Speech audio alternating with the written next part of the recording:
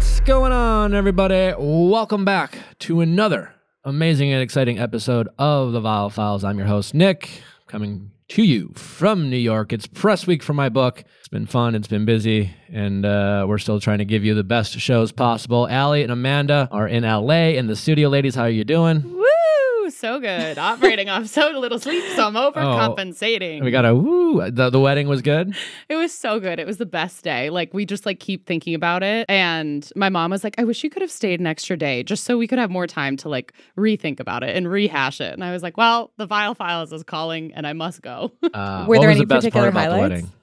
Um, it was really nice. My sister wanted to sleep the last night like in her bed, which was honestly nice. We debated like should we go to a hotel, but in that way it was really nice cuz I like snuck into her room at like 5:30 and played like going to the chapel on my phone to like wake her up. And then my dad started blasting it throughout the house. And then the four of us were able to just like go to Starbucks and kind of like start our day together. My dad like dropped us off. We started getting ready. All the girls were like uh, it was just such like a good positive vibe. Um we went and took photos uh, on the river in St. Paul, which was one of their like main date spots that they would go to when they were in high school. So it was like sentimental, but also beautiful. Uh, it was at this big church, old church in St. Paul. She just looked like stunning. The colors were amazing. And then we went back to the venue. Um, it just like the whole thing was really well planned out. The planner was great. Like she organized time for them to just be in a room by themselves. She had like a Moscow mule for my sister and an old fashioned for Patrick and like a little bit of appetizers. But she's like, you guys just need some time,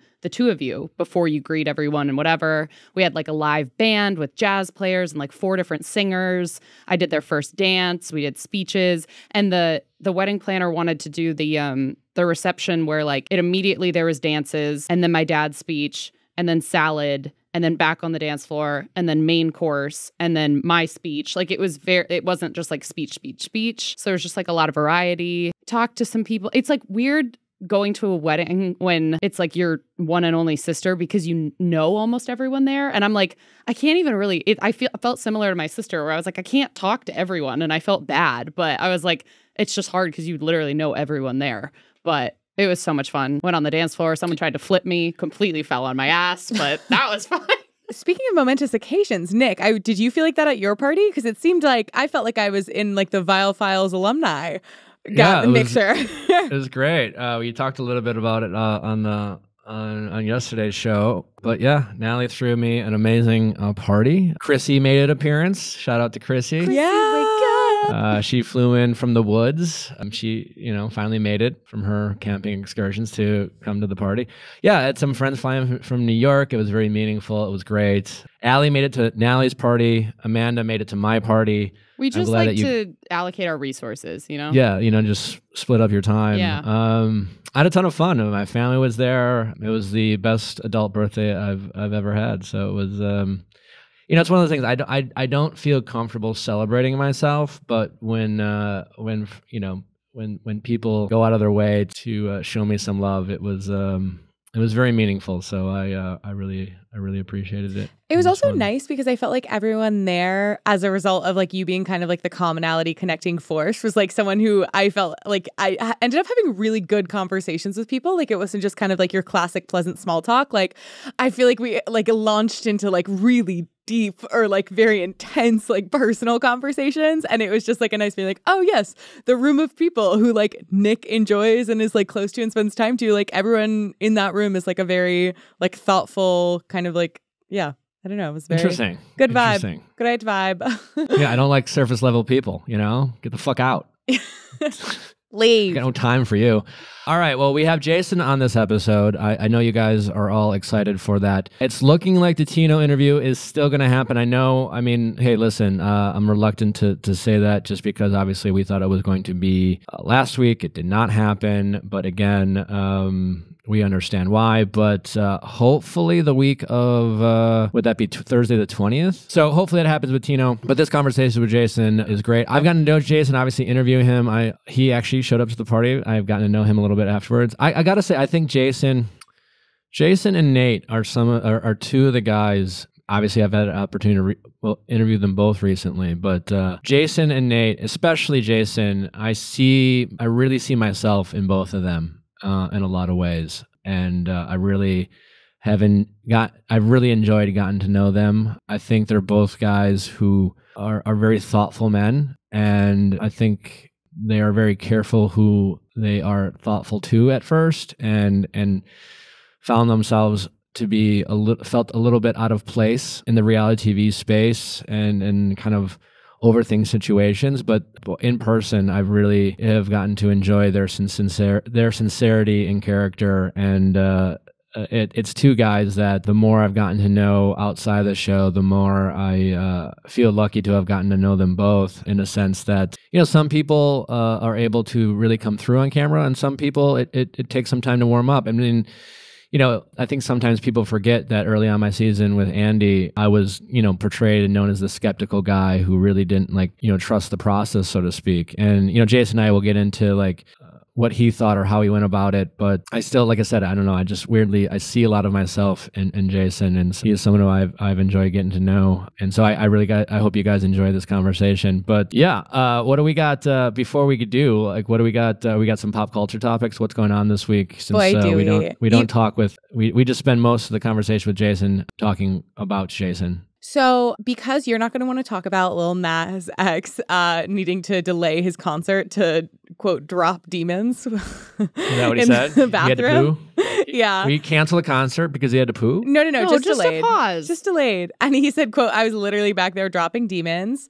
Um, good for him. Yeah. Moments like that. Good for him. But I think the him. more pressing. So, okay, there's a few things. There's the try guy situation, which is that Ned Fulmer try guy and famously formerly a wife guy. It unsurfaced that he was having an affair with an associate producer on the show.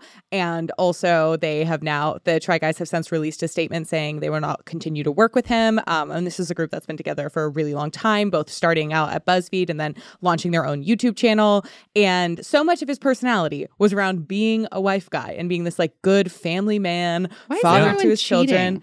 Everybody's everybody's cheating, or everybody's getting caught. True. Yeah, everyone has been cheating for a long time. I mean, I don't have sympathy that he got fired. I mean, one, I mean, if, if it's with a, a, work colleague, yeah, I mean, cheat.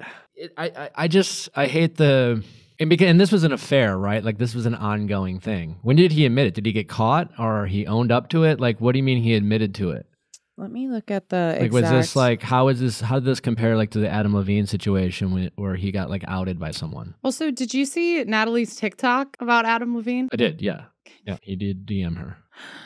Yeah, so it was like ah. it started with him being missing from the videos, like the recent vid- Try Guy content. So that was kind of how people like rumors on Reddit were swirling about the, like why was he not there? This kind of speculation. So it seems like it was like discovered internally and then got out to a larger audience. Oh. They were allegedly seen like making out at a club in New York. So... At a concert, yeah, there were pics, uh, pictures. Oh, I, okay. So he got caught. The two he didn't them, own yeah. up to it. Yeah, it definitely did not. Like you know, he since made a statement, but it was not like a. He didn't choose to come forward with it. Yeah. I mean, listen, it's an extra.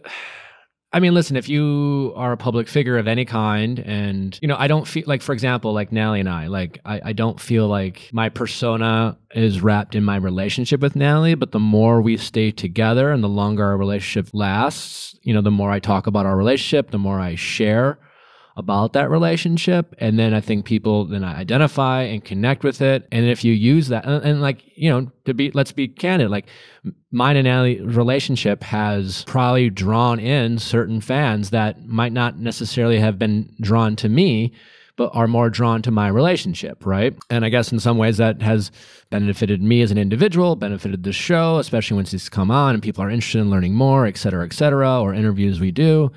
And it just comes across as extra gross and extra dirty when you get caught, like, again, having an affair. I mean, there's cheating and then there's having an affair. And while I'm not, you know, it's like, is one better than the other? And I actually think there is in a sense that, like, well, I don't have any, you know, sympathy for cheaters. But I also recognize that people are human and people make mistakes and we can have weak moments and we can have low character moments. And and and sometimes we just have to fess up and and face the consequences and give an opportunity for the people we are wronging a chance to either forgive us or not forgive us but when you have an affair and you have an ongoing situation of i mean just think about a relationship of any kind like just in an affair in just like how many lies do you think you have to tell a day if you're in an affair you know what i'm saying mm-hmm. like Ugh. constantly. Like truly, like hun- you probably have to lie hundreds of times a day. And it becomes maybe so natural. And like and it's also lies in the sense of the truths we don't tell, right? It's like it's not the same as like, you know, if you're having an affair, it's not like your partner constantly da- every day is just like, "Are you cheating on me?" And you're like, "No," and that's a lie. But it's just like all the little things of like Where you're um, going, who you're yeah, seeing, where you're going, Why you're you're smiling. to. Yeah, and like you know, if this guy's out in a bar making out with someone, where did his wife think he was? And just like the the the lack of character that requires, and every like.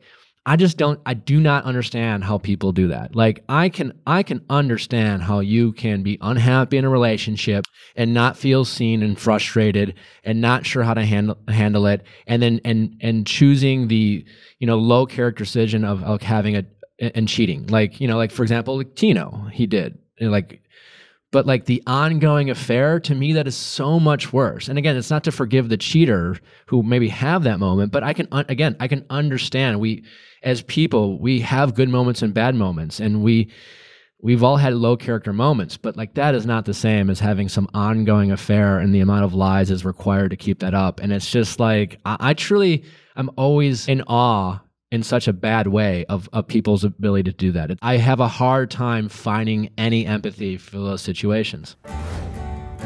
Not every vitamin is created equally, and the worst part about vitamins is that it's easy to forget to take, especially if you're taking multiple vitamins at once. That's where Care of comes into the conversation. Care of is a subscription service that ships high quality personalized vitamins, supplements, and powders conveniently to your door every month. Fall is here, and now is the perfect time to reset and think about the little changes you need to make in your daily routine to be your best self. Creating and sticking to a manageable self care routine that you enjoy in the best way to achieve long term goals and positive change. I love how in Care of they they come like it just it's like it's dummy proof for people who constantly miss vitamins. Totally. And like I'm traveling right now, and I used to part of my packing process would be like dumping out the bottles and putting it all in like a Ziploc baggie. And then you're not sure if you've taken one that day or if you Oh, missed wait. a day. And like when I'm traveling now, I'm like, okay, great. I'm gone for three days. Let me just grab three pouches, throw them in my bag, and I'm ready. Oh, it's the best. It's like it's such dummy proof for people who want to like take care of themselves, get those nutrients uh, that they often miss out. Vitamins are great if you're taking high quality ones. And Care of like solves all those problems. Super easy. You take a short, uh, in-depth quiz about your lifestyle health goals that are personalized, uh, and uh, takes the guesswork out of the supplements you might need to to fit your wellness goals that you want to achieve. Care of takes care of the rest. Each shipment comes with a customized booklet showing you exactly what your, is in your individual daily packs and why it's recommended specifically for you and your health goals. So you have the confidence of know what you're taking. Like information is is good to have. It's always good to know what you're taking, especially you know if if you are you know talking to your healthcare provider. And they're going to ask you, what are you taking? Why are you taking it? You know, have the information ready to go. For 50% off your first care of order, go to takecareof.com and enter code VIALL50. That's 50% off your first care of order. Go to takecareof.com and enter code VIALL50. Well, I mean, on the subject of cheating and moving on beyond cheating, Emrata, who is famously experienced some terribly shitty behavior by her ex Sebastian, uh, has since been seen with Brad Pitt. They've just been like gallivanting around Europe together. Seems as though they be fucking, but in a very Yeah. casual, fun way that everyone's down for. Hashtag they be fucking, man. yeah, I mean, like, that's some hot sex, you know? Do you think Leonardo DiCaprio and Gigi Hadid are having hot sex? What do you think their sex life is like? I, I, I still don't get understand that for Gigi. No disrespect but you to do Leo. with I- and Brad Pitt? Yeah. I, Yeah, because Brad and maybe Pitt it's was because Brad. Pitt's been such a mystery. You know, he's been married obviously a couple times. You know, like, but in terms of like what what's Brad been doing with his dating life the past couple years, he's definitely a little bit more private. And you know, it, again, like you know, do whatever you want to do, Leo. I mean, I I'm I'm I'm I'm also dating someone who's younger than me, but he just has such a track record of I don't know. And I I just Brad Pitt. I mean, I, I saw Bullet Train over the weekend. While I didn't particularly love the movie, like Brad Pitt is. He, he he he continues to like become hotter and hotter, and Like a fine wine that his wife is suing him over. yeah, and Leo, you know, it's um He's like famous for his Peter Pan syndrome. Well, not only that, I just don't know if time has been as generous to Leo as it's been to Mm. Brad. And it's like it's Gigi Hadid. It's just like I'm just trying to figure out. I don't know. Like, yeah, a guy who just is so non-committal, and and I, I just don't. I'm just curious. I feel like it's maybe this has like always been a thing, but I'm like now like Brad Pitt, Leo, like Ryan Seacrest is dating a 24 year old. Like it's just like what I feel like they're all those guys are like in a similar age range and they're all dating women in a similar age range. Where's the middle Yeah. ground? What? What? Where's the middle? Like I'm just like it's just like what is the trend? I'm confused. What's what are you confused about? I don't know. Can't put it into words. It's just like they're all the same. I also honestly am not. I kind of think there's a chance that the Leo and Gigi is a PR thing I 100% think it's PR. Because I, I, think don't. it's. and I you- think you know, just they know they're both getting insane press. If you're Leo, you love it because people are talking less about your breakup and more about your new relationship. mm-hmm. Um, and if you're Gigi, I mean, it's it's still Leo. He's still one of the most famous people in the world. I Yeah. 100% think it's PR.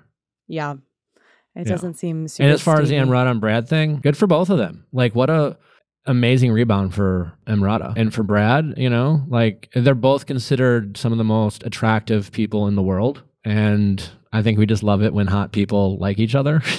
I also think there's something about Brad Pitt, and I'm definitely just thinking about his character in um, what's that financial movie? Do you know Moneyball? The Big Short. I'm thinking about his character, uh, also Moneyball, but like I'm thinking about his character in The Big Short of just this like very like kind of like strategic, like calculated off the grid guy. Where like I think there's also just this like I have this general sense about Brad Pitt that I'm like he's emotionally mature, he would love her right, like he would be respectful, he would communicate in a way that I don't. It's not that I certainly think Leo is incapable of those things, but I definitely Mhm. don't go out of my way to associate those character traits. yeah, also- there's never been like any like fuckboy rumors with Brad Pitt over the Yeah. years. right. He has children. Leo's like popping bottles on yachts. Yeah. Yeah, I mean, who- you know, who knows? You don't want to judge a book by its cover. I mean, I guess oh, people, you know, in my dating history, I was single for a long time. Yeah. Uh, who knows? But yeah, I don't know if either of those situations are going to last. And maybe they're both for PR. I don't know. Like, and like, and I, I wonder, like, it's like, I don't think they're both like, it's just for PR because it's like, why wouldn't you want to hang out with these people? Mm-hmm. Right? Like, no one's twisting anyone's arm to like have a cup of coffee with Brad Pitt or Emrata for that matter, you know, or Yeah. Gigi Hadid or Leo. They're all right? part so, of like this very exclusive group of people. yeah. So I, I don't think they're like hating each other's company and it's totally, you know, but like, does that mean I think they're just allowing the rumors to flow and they don't mind being seen around and everyone's benefiting from it? I don't, I don't know. But I think it's, it's, I don't know what it is about hot people hooking up. It's, uh, it's an exciting time for all of us. Oh yeah, well I also think you date in your circle and I don't know if you saw this is I don't think this got a ton of attention mostly because there's not a ton of drama around it like it was very respectful timeline-wise, but Chris Redd, an SNL cast member, is dating uh, Christina Evangeline, who is Kenan Thompson's ex-wife. So that'd be like if Allie dated one of my ex-boyfriends Keep it in the or my family. ex-husbands. Ooh, how does Kenan feel about But that? there was no overlap, and like it seems like Kenan's happily dating other people. So that's why I don't think it's getting a ton of media attention, is because it seems like everybody was No clearly one's like upset about it. communicating. Yeah. But it is still like I wonder if there's a little part of you that's like, come on. Did you want them all along? Like that Christmas Is there anyone? party. Uh, do you would like would you would you hook up Allie with Broken Leg Guy if you thought they were compatible? Amanda's not a good person to ask about this because Amanda's like giving and giving and giving. Amanda's like setting her exes up with like other exes, like roommates. She's like, you guys would be great Yeah. roommates. I'll like, start a dating collective yeah, with all my literally. exes. She's like matchmaker, So you would. matchmaker. um, depends, honestly. Uh, on what? Um, like That's the question. yeah, I guess um the sense of like closure. Cause I, I think it's the kind of thing where like in order for it to go okay, you can't have a sense of tenderness or like any lingering kind of You have insecurity. tenderness for Broken Leg Guy. Um, it would be a dick. Di- broken leg guy would be like, that is so fucking disrespectful of you to think. No, I don't want to date your friend. Like I'm still I don't mad care at you. about Broken Leg Guy's feelings. I know he's kind of obsessed with you, but I'm asking if you would be okay with it. If you thought he was indifferent towards you. I, it's, it's hard for me to like extricate the like dick move of it. But I know I think there's some people who I genuinely would be totally fine. Where I would I be have like, certain exes. more the merrier. I I would be this like, person. yeah, like I mean, I have certain exes that I still think very fondly of, and like it just wasn't happen. So Yeah. I would like Other definitely. than a girl, other than like true girlfriends, like I've had women I've dated over the years, Yeah. um, and then it didn't work out, and I was I happily like would introduce them to friends. I didn't care at all. right because but it it, was like once I, but there wasn't a, a, like a true emotional connection, like a real bond of, and like I didn't like I was also wasn't introduced. I think there's a weird thing when you start introducing someone you're dating to those friends, and then if they you know you break up and then they start dating i think that's what makes it weird because you're you're con- you play you go back in your head and play back like was there a con- was there chemistry that was going Mhm. on that i didn't see when i was together with this person It's all about the amount of control that you feel you have in the situation. Because if you get to like Yeah. swoop in and be the good guy who's like making love happen and who's so unbelievably like detached from someone and can want them to have love with someone and acknowledge it's not you, like that's an awesome look. But I think when you feel one, if you feel rejected by the person or if you feel a lack of control over the way people get together after the fact, that's when I think it starts to get kind of like it hard not to resent someone. yeah Or oh what thoughtful. oh the selling like, uh, the Chrishell and jason sharing passwords what Sharing was that all about HBO. Well, she like was still logging into his HBO even after they broke up. That's a great discussion topic of like, is it okay to share, or not is it okay, but like, would you continue to share passwords? Oh yeah, i think it's fu- I'm still on Yeah, Wedding Guys' uh, Apple Team TV. Here. It's just like it's not that it's like you're it's just you're too lazy to log out and log back in because like how many how many people actually remember their like Netflix passwords, you know, and things like that. Yeah. And What so like it's such a pain in the ass to like find someone else, find your own and have to do the whole reset password. I don't think it's like oh you're you're hanging on because like you still want something out of them. It's a it's a bit intrusive if you're like you know if you're both like maybe you're both watching the Dahmer film, right? And all of a sudden they're logged into your show and you know like Nally and I will just watch our shows and then when we get tired we'll stop it and we'll pick up right where we left off.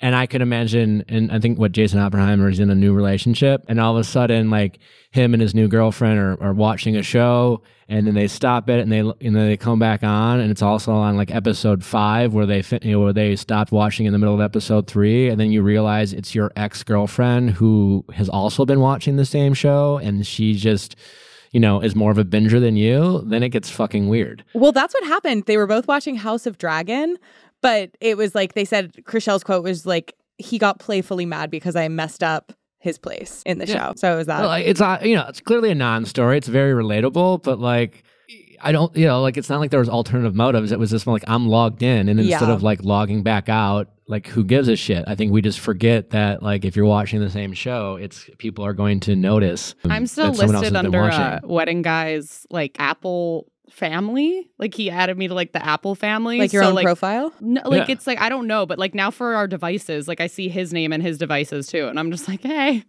Like I think I think uh I think I'm using Demi's Disney Plus. You were using and I- Demi's I, Zoom also for a I while. have a it Disney said Plus Demi account. for four years. It, every time we would make a Zoom meeting with you, it'd be like Demi Demi's in the waiting room. Yeah, it's because you used my Zoom once and I can't figure out how to change it. But yeah, I mean, like I think I just think that happens all the time, and it's not because like I'm trying to like use Demi's. I think I have a Disney Plus. I'm just too lazy to log out, and I don't even know my Disney Plus password. My know? boyfriend is logged into all of my uh like my HBO Max, my Hulu, and like you better believe if we break up in a way that is like at all contentious, like immediate acts, I will be so petty in that way. Uh, yeah, but you're yeah, but that takes work. What to just like change your passwords? Sure, on all your yeah, It's so worth it. It just depends on Because where I you would are just in that feel so emotional state. exploited if you're like if if things end If you poorly. got broken up with, you would you would do that right away. That would be the first thing you'd do. Yeah, uh, benefits stop immediately. I mean, that's like if you strength, but fire a lot me, of people would. like benefits stop immediately if it's contentious. If there's like If a severance period, you know. Yeah, but if you got let go, would, wouldn't you m- try to maintain the benefit? But I have I- the yeah, I benefits. think I'm the benefits provider. Oh, You you're the are on benefit. You're, you're okay. yeah, you're the yeah, one yeah, that's yeah. giving it out. Okay. Oh, oh, are you asking like if he broke up with me out of a point of pride, would I have logged out of any of his accounts? The Yeah. answer is no. I would not. I would stay. I I'd stay in mess up accounts. all of his timelines. Yeah, I was like, I would Fast go on. forward. I would, Would you start watch watching really some pointed, weird shit? Yeah, I would watch like really like pointed, like my ex is a narcissist, like really like petty TV. I don't think I Real, actually yeah, would. yeah. Start watching some real sh- sh- shows that make them, you know, either think you're moving on or or not moving on, or at, you know, uh, yeah, accuse How to build of. a sex room. Yeah, I would. Yeah. How to build a sex room. I've watched that already.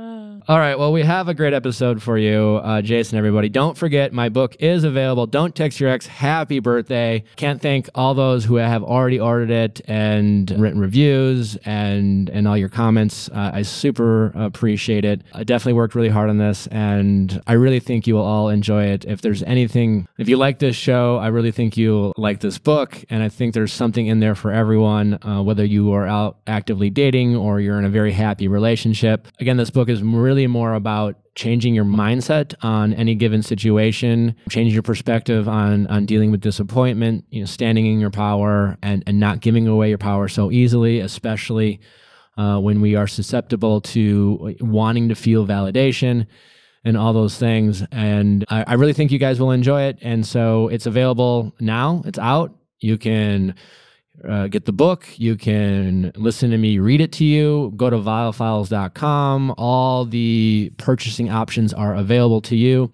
And if you want to buy the book and listen to the book, you can do both. Uh, the book is is written to be, you know, treated as like a guide or a manual to refer back to, especially if you're out there dating. If you have friends who are struggling in the dating scene, like I highly re- recommend this book. I promise It'll make them feel more empowered and more in control. You know, ne- dating when it comes to our dating problems, nothing is nothing is ever solved completely. But as long as we just feel we, we prevent ourselves from feeling a little down, pick ourselves back up, and we feel more confident about the outlook on our lives, uh, I think we're all in better positions when when that happens. And that's what this book is all about. As someone who really struggled uh, with my own decisions and got stuck in, in, my thoughts and, and got stuck, you know, feeling bad about myself and feeling bad about how people were treating me, et cetera, et cetera. You know, I really, everything in here is how I kind of changed my perspective and changed my mindset and, and kind of attribute everything I have in my life today to the mindset I have changed over the years. And uh, there's a lot of my stories, anecdotal stories, friend stories in here. And I really think you guys will enjoy it. And I appreciate you taking uh, giving it a shot. And uh, if you do read it, I'd love for you to review it and tag us and we'll share. Let's get to Jason. Jason. Nick. How's it going? Good, man. Welcome. Thank you. Thanks for having me. I'm really glad you're here. Me too. First podcast. First podcast ever. Oh, ever. Well, let's make it a good one. Yeah. yeah. Well, hopefully not your last, because if nothing else, we'd love to have you back. Well, I'll, I'll maybe come. We'll okay. see. We'll, we'll see, see, how, how this goes. one goes. We'll see how it goes. Playing hard to get. how's your heart? I always like to start off these podcasts by asking just how you're doing, man. Yeah, that's a good question. Um, my heart, where's my heart? It's uh, I'm trying to find it. Okay. It's been a lot. Just this whole thing, you know, going through the filming of it all. Well, I guess even pre-filming, up to filming, and then yeah, getting home and being like, what what the hell just happened? and then watching it, it's uh, it's been a lot. Yeah. I guess let's just, you know, as we always do with these type of uh, conversations, let's start at the beginning. Uh, I think people are always kind of fascinated to find out how a person like yourself, especially especially a person like yourself, found your way onto The Bachelor. Yeah, it's a good question. Um, so my friend, who I still talk to, he nominated me for the show and I didn't think much of it. He, he called me one day. He's like, Hey, I nominated you. And like a uh, buddy. Yeah, like a friend of mine. Okay. I was I don't kid- know. I'm sure that happens, but I really haven't heard that much. It's usually like my buddy's girlfriend or, or wife or something like that. But you're Yeah, one of my yeah, just a good friend of mine from uh, Okay. from childhood nominated me and uh, called me. He's like, dude, I nominated you for the Bachelorette. I'd just gone gone through a breakup, and I honestly never thought about it more than than that first day. you had gone through a breakup. I had gone through a breakup, Okay. and he was he. I guess he was watching it and was like, I'm gonna nominate Jason. And fast forward one year later, I, I get a call from the Bachelorette. I think I was at work, and um, they basically were like, "Hey, are you single? Would you be interested in coming in and interviewing to be on the Bachelorette?" And I was like, "Are you, are you joking? Like, Is this a joke?" Um, I, I mean, I, I re- literally remember that, that conversation I had similar. Yeah, very similar. I, at first, I thought it was fake. Yeah. But they were like, "Yeah, come in, meet with us," and I was like, "Why not?" I'll come in see see what they have to say, and um, yeah, I went in, and and it just before I knew it, they kind of offered me a spot on the show. Or Did you immediately say yes? Like once you decided to like go through the interview process, were you pretty much like, hey, if they ask me, I'll do it? Or like what was your kind of thought process uh, as you went through the kind of interview or casting process? I was hesitant. I was super hesitant to do it the whole time. I was kind of going through each step, being like, "All right, I'll see what happens if I make it past this step, and then this step." And as you know, there's like you know tons of steps to go through. Yeah. yeah, just kept progressing, and um, I kept an open mind. Um, I, I still had no idea who was going to be the Bachelorette, and um, yeah, that was kind of the What were uh there's so always so many questions, but like and I, I feel like at this point it's always nice to hear people's kind of honest interpretations. Obviously, we had you know Eric's text messages that were released and talked about, but I also think people are are kind of ri- ridiculous with their expectations they put on cast people. But like what was your just kind of honest mindset in terms of what you thought might come from the show and like what were you thinking in terms of it being a show about love and what what the possibilities look like like what were you like you know like what were you thinking about like why were you saying yes to this experience Yeah, that's a good question. I, I think for a couple different reasons. Up until I guess I, I found out it was going to be Gabby once the live show was announced. So I didn't even know she was going to be the Bachelorette until then. But up until then, I was like, honestly, like I don't know why this is happening. But if I truly believe like the universe kind of has like a path for us. And I was like, all right, maybe I'm supposed to go on the show for some reason. And I, I truly didn't know why. And I was obviously open. I was like, maybe I'm supposed to meet my person on the show. Maybe I'm supposed to go on the show to learn something about myself. I, I, I don't know. I just kind of went into it with an open mind. yeah you're just kind of open so you're very open okay so you went on I'm re- I really want to ask you these questions because I, f- I feel like uh, the little bit I've talked to you before we're sitting down here and just watching you on the show, you seem like an incredibly introspective person that really kind of you seem to really struggle throughout the process of like with with just whatever your mindset was while filming. So I really kind of curious about you know when you first got there night one like what did you what were your observations about the show uh, the people around you your peers? Like what was going on your in, in on your mind as you were like there night one and you're seeing all these cameras you see producers you see cast people you're meeting guys like like what were you thinking and like how were you assessing your peers? What did you think of gabby and rachel? Like what was going on in your head? Yeah, the, that night one was, uh, I honestly, I think the craziest night of my life, and I think I went into a crisis.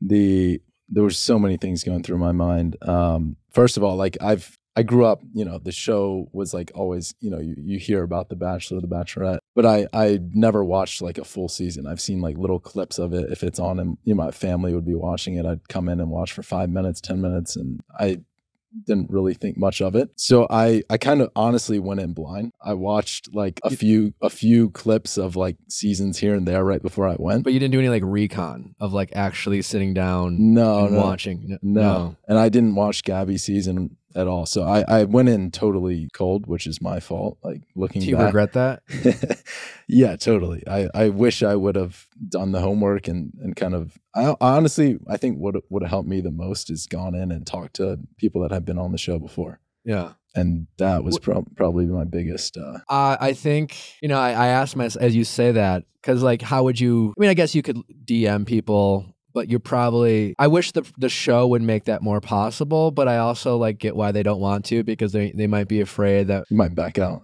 not even back out or they will tell you like th- they like you confused. You know, Yeah. they, the less you know, you know, uh, the more. The more you might freak out. So it's, yeah, it would probably have been nice, obviously, had you had a conversation with someone to get some insight. But it's like, See, to, to know that you did absolutely no research is kind of crazy to me. and I can only imagine what your headspace was, would be like having very little information about like what was going on. Yeah, no, it was. It was it was crazy. Yeah, going into night one, I mean, like I I was excited for it. Um, I was obviously nervous. Um, I couldn't believe I was actually going to meet Gabby, and I think on top of it, like you know, you start that night pretty late. And for the past five six years, I've been waking up at four a.m. every day because I work East Coast hours on the West Coast. So my you, Ye- okay. Wow. yeah, so What time you going to bed? like eight thirty. Okay. Yeah, it's crazy because I work on like the New York Stock Exchange. Oh, good for so you. bravo. yeah, You don't see a lot of that in The Bachelor. yeah. So Put it up for the real job. yeah. hey, college athlete is a real job now. Yeah. yeah. former former athlete. So yeah, we we basically I think we you know we started that night and basically ended at Seven in the morning. seven in the morning. Yeah. So my mind is already just like going crazy. I'm like I'm supposed to be halfway through my day right now, and I still haven't fallen asleep yet. So I I started panicking because of that. But yeah, going in, there's just so much energy that first night. I, I think I was so starstruck, you know, with everything going, the cameras, the lights, Yeah. walking out of the limo, seeing Gabby. You keep saying Gabby. Now, is that because you had dated and formed a relationship with Gabby? Obviously, there was another bachelorette there. Was it Gabby the whole time for you? Like, what what was your mindset going in, knowing there were two bachelorettes? Yeah, go, I mean, going in, well, so I watched the last episode of her season, the finale. Okay. And I, yeah, that was when she was announced as the Bachelorette. And there, were, I don't know, there was something about her watching it, even through the TV, that I picked up on. Some kind of, I don't know, there was some kind of like spark that just really caught my eye. Like she was just very genuine and comfortable being herself no matter what, even through the TV. I could tell. So I, I kind of had it in my mind already that I was going to be more interested in her. Not, you know, I think That's yeah, okay. You know, Yeah. you, you're allowed to be interested in someone Yeah. over someone else. Yeah. Uh, and then obviously you met Gabby. When did that? When was that confirmed? Your assumptions once you met them was it kind of pretty instantly? When was the first time you sat down? Did you like? Did you talk to both women the first night, or was it was it just one? Either of them? No, I, I actually, uh, so I talked to them out of the limo, um, which I don't remember. I think I blacked out. Yeah. Um, and then no, I, I was like, I'm gonna sit by the fireplace. I'm just gonna go chill over there for the rest of the night. And uh, yeah, I think I sat there for the rest of the night. And you didn't talk to him. no, I didn't talk to you. You literally just I literally just sat on the fireplace. I, wow. I mean, knowing how it all works and knowing that you sat there, like I'm almost surprised you didn't get sent home night one.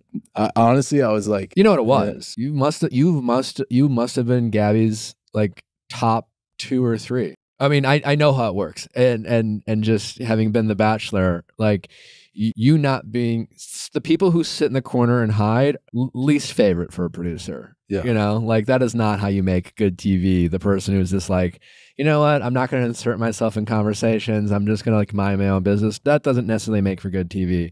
But if you happen to be in their top two, because like top five, top six, you know, like it's usually like conversation if like early on and it's just kind of like they'll like ask you like what do you think? Who do you you know again you're, you're here to make tv you're also here to find love. It's a it's a it's a conversation that goes on between lead and producer. Is your love story is a priority if you're gabby or rachel but like hey we have a tv show to make. And so they're like well i like you know they're my sixth favorite they're like well listen they're our least favorite. So um you know something like that but uh just hearing that you sat in the corner and minded your own business and you even got through night one you clearly must have been a, a favorite of gabby's right from the jump uh, yeah, I would, I would assume so. okay Um, and when i say that do you does that like when did you think that maybe you felt like there was an instant connection between the two of you I think so. We we did have a couple times to talk before that one-on-one date, okay and I think one of the first times we spoke. Well, actually, the first when I came out of the limo when I was going in the house, uh, I accidentally stepped on her foot. And I- yeah, and she was like, "Ouch!" and honestly, I was like, "I'm." I think I went to the bathroom and and was like, "Are you fucking kidding me?" the whole country is gonna see me stepping on her foot.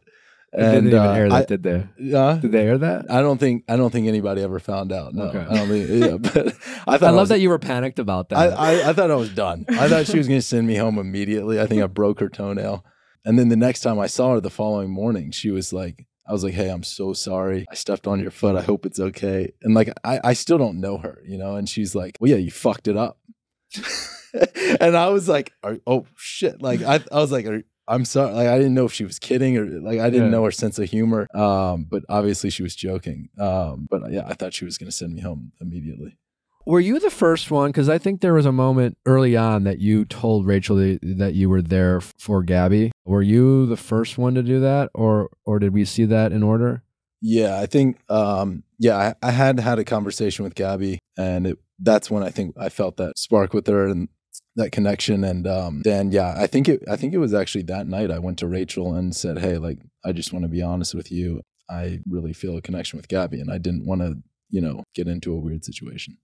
What was your read on on some of the guys? Uh, n- the first early on, like you seem like a little again the little bit I know you that I, it, my it seems like your problem was was you're kind of almost too real. It almost seems like where to have success in the show, and by success I mean like even a chance to even find love, you you have to suspend you know like reality a little bit. Yeah. Uh, but what were Uh, what were your what was your view and some of your peers, and how did that play a role on how you thought you should act uh, relative to how they act? Because if for me, that kind of played a role too. Like, because sometimes you you pick up on things where it's just like, I don't know what I'm supposed to be doing, but they seem like they're in on it, or or they're kind of talking out of their ass, or like saying things that don't make sense to me. Yeah. Like I, I just got here and I remember like one guy night one saying he was already developing feelings and I was like that can't be possible. Yeah, Did he totally. Like what what was your read on some of the guys from, from your season? Yeah, I was, I was, I was just so confused. Night one, I heard guys saying they were already falling in love. I, I heard guys like talking about their future wife, and I, I truly, I, I remember going into interviews and just being like, what,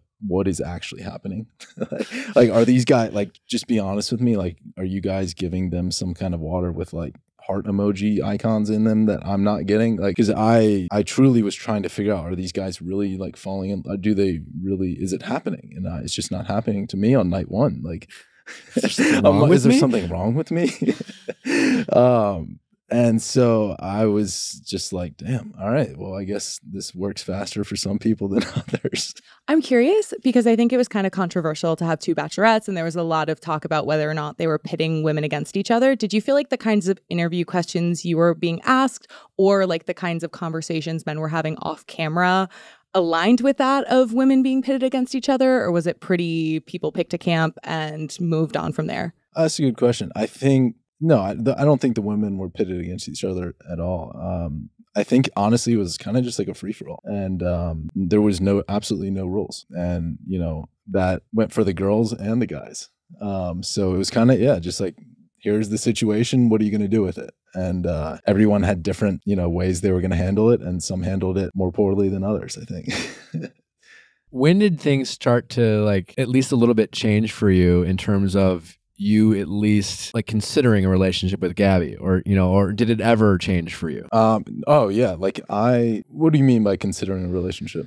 Well, I mean by relationship and I guess that maybe leads us to you know questions later, but uh, you know at first everything just seemed like a TV show it sounds like to you. Yeah. And at some point, it sure seemed like you and, and Gabby were having a connection. And while you might have been struggling to figure out like what this was, there was something there. And where when when was that moment for you? I think probably the Paris date was was a big big night for us. The thing that I struggled with the most on the show, I, I like you said, like I maybe was too real. I took it very seriously, and like I I think basically when I was with Gabby, like I felt something very real, and I didn't want the show to kind of overshadow or like take anything away from that relationship Yeah. that that we did have because I genuinely felt something that I haven't felt in a long time with her. Yeah, I- I, think when I when especially with dating, when I date, like I like to just go all in and kind of like lay everything out and like be vulnerable and open, and that's what I was really struggling with was on the show. Like if it was a safe place to yeah, be vulnerable. exactly. Yeah. So that's that's why I was I was truly struggling. And when when I kind of would say like I'm you know these cameras, the microphones, I'm uncomfortable. Like it wasn't the cameras and the microphone. Like it was more so I'm there's so much that I want to do like say in a normal relationship and like be open about things that I want to tell Gabby directly instead of the entire world. And that's where, you know, I guess again it's my fault for not just doing it and not being open eh, but like you know there's so much stuff that i just wanted to be like hey like this you know it's it's private stuff to me that i would typically tell somebody that i didn't want to share with the world So I mean, I have to ask. This is an ABC The Bachelor, but it is a podcast, and the world will hear it. and we are talking about regret. Is there anything that, like you said, like had you watched it before, you might have uh, changed your approach? Is there anything that you now wish you you would share here that you would have liked to? Have shared with Gabby as, as you went through the process, as opposed to something that like maybe you realized you didn't need to be so closed off. Uh, like, what would be something you'd want to share with her? yeah i I mean i don't think there's anything in particular like that comes to mind but like throughout the whole thing i remember just battling that it was just like a constant battle with myself of being like honestly like watching it back like it was hard for me to watch myself In what way? because that's I just that's just not who I just don't think I was li- I'm like that. Like I was like I felt like a different person in that environment. Okay. You didn't feel like watching it there was an, a fair, re- accurate representation of yourself? No. and like I- I think it's you know uh, But it sounds like it was more like you take ownership of that. It's not like yeah, you're blaming that's what anyone I'm saying. else. Like yeah. it's not it's not it was because in that environment I Yeah. truly just I was so taken back by everything and I was trying to be so real in an in an environment that is that didn't feel Yeah. safe to me, I guess. You obviously talked about therapy. You're one of the first, I think, men uh, on the franchise. I mean, I'm sure it's been maybe talked about before, but I feel like not. But as to much. say inner child feels like kind of like not just like I go to therapy. Yeah. like Yeah. getting into it. Uh, But yeah, you came across as someone who's authentically been through it. I got the impression that you had, ex- like, there was a you know, like watching it back, I, I just, like, I really felt connected to you in a way where I felt like you had experienced some disappointment or sadness or pain, whether it's relationships or life, and whether that was the reason you got therapy or not, I don't know. But you seemed, and maybe that what you what you're talking about in terms of f- wanting to feel safe and and not sure if this world was an environment to feel safe in. Mm-hmm. You're like, what was your reasoning for talking about therapy? How did you get into it in, in, in the first place? Because I think it's something that I think we need to normalize more with men and feel comfortable about opening up and talking about, you know, whether you know, whether they experience sadness or heartbreak in relationships, and and finding the strength to to openly communicate that on a on a national platform and to normalize that like what was the reason that you felt comfortable the little bit you did share about yourself to share that Yeah. I don't with therapy, um, I guess it goes back kind of after college. I, I guess the way the first time I was in a long relationship and I think we went through a lot of pretty like challenging, I guess, life, like not in the relationship, but you know, personal challenges in life. What, what, what do you call that? Um, Adversity? adversity like yeah just you know with with and we, we kind of bonded over that kind of stuff and um i think in a way it almost turned from like a, a romantic relationship to like a feeling of safety kind in a way. of co- almost codependent a little bit a little codependent maybe Yeah. and then yeah like after we broke up it was um i i, I don't think i've ever been at my lowest th- that i was then and i just felt completely lost and i i just this was when i was you know 22 years old and um I had never heard of really been to therapy, heard of going to therapy or anything. And somebody was like, honestly, I think Jason, you should talk to a therapist and i yeah i ended up going to a therapist for the first time and um, we went i think i went for like a month straight and she was basically like wow like i've truly never seen somebody improve so much in such a short time than i've seen with you and why do you think that was I, I truly think it was because of the things that I was I was battling, um, whether it was like anxiety or like you know intrusive thoughts or whatever it could have been. I, I I truly just didn't know or have the tools to to kind of cope and deal with that kind of stuff. Do do you- Um, were you uh, again i see parallels between yourself and myself but like i struggle with like rumination and overthinking and if you don't have an outlet you just Yeah, it just it it just, it just circles in your head. stays with you and uh, like did when you went to therapy did you feel like you were just almost able to like turn the valve and just a bunch of pressure like just was released Well, yeah, it was. I mean, it was just validating. Yeah. Um, it was just validating um, in a way that like this isn't you. This is what's happening. This is why you have anxiety. This is what anxiety is. This is this is what it means, and this is how you can get rid of it. Like Mhm. this is what you do. And like as soon as I learned that, like it was I was a completely different person. And then basically I I you know, I was like, holy shit, like this is what I needed. And I kind of went for another month or something and then totally disregarded it and stopped going to therapy for a while. And then um, before I knew it, I was in another relationship. And I think I let a lot of stuff kind of just like build up again. And then after we broke up, it was another just a heart wrenching breakup. And um, that's that's when I was like, all right, I think I need to take therapy pretty seriously. And yeah, I went back, and that's when I discovered inner child work. And um, that, like I said on the show, it, it really has just changed my life. are you still going to therapy ongoing Yeah. So I mean, for for years, for the past two three years now, I've been going very consistently. Awesome. It's, it's truly. I mean, it's turned me. Yeah, like it's like 360.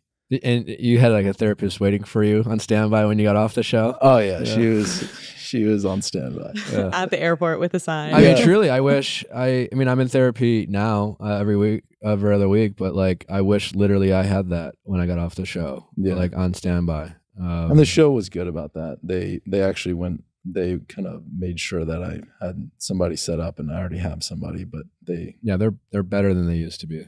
yeah, That is for sure. So let's get into the meat of it. Obviously, as things progressed uh, towards the end, so much of this season with both Gabby and Rachel was about this reluctance to get uh, to get en- engaged.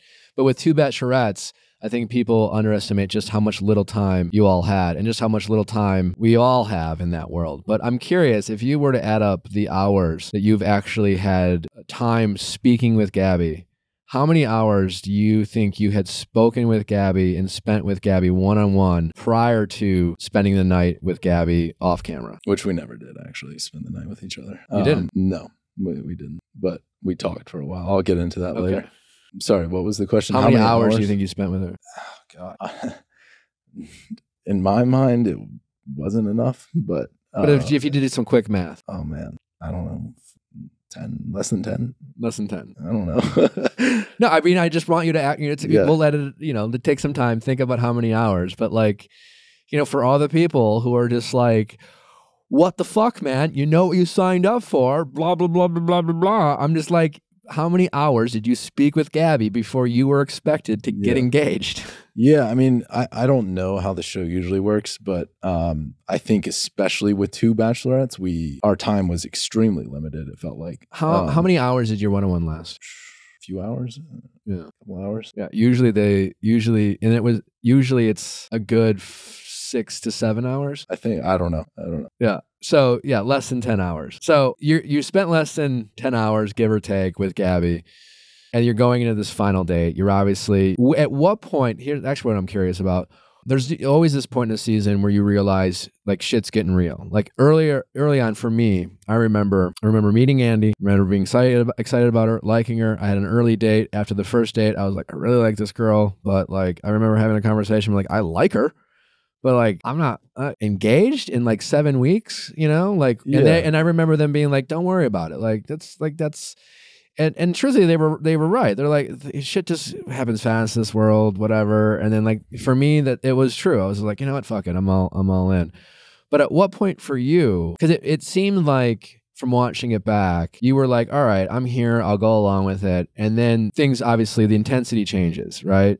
There's always this point where it's like down to the final five or six people before hometowns and then the uh, i'm falling i'm starting to fall in love i'm falling in love i'm in love always kind of happens on certain beats Mhm. did you notice that and and what was that experience like for you and did you think that the intensity was shifting up and how did that impact how you felt about the experience Totally. Yeah. I I definitely could feel that from other guys. Um, you know, I I would hear it around the house already before we left for you know Europe. That some of the guys were like, "This, this is my future wife. Like this is my." I'm in love. Like, and for me, like, like I said, like I truly was taking this as real as I could. I don't know. We had that one-on-one date in Paris, and that was kind of our first time to actually just have time away from the house, away from the craziness. And I think it, yeah, we definitely formed like a unique connection that night. It was something that I, I think I was in shock that it could actually kind of happen in, in that environment. Mhm. Um, but then again, like it was our first date, like it was our, you know, I, at, at that point, like I was like, okay, I have hope in this. Like this could actually lead to something.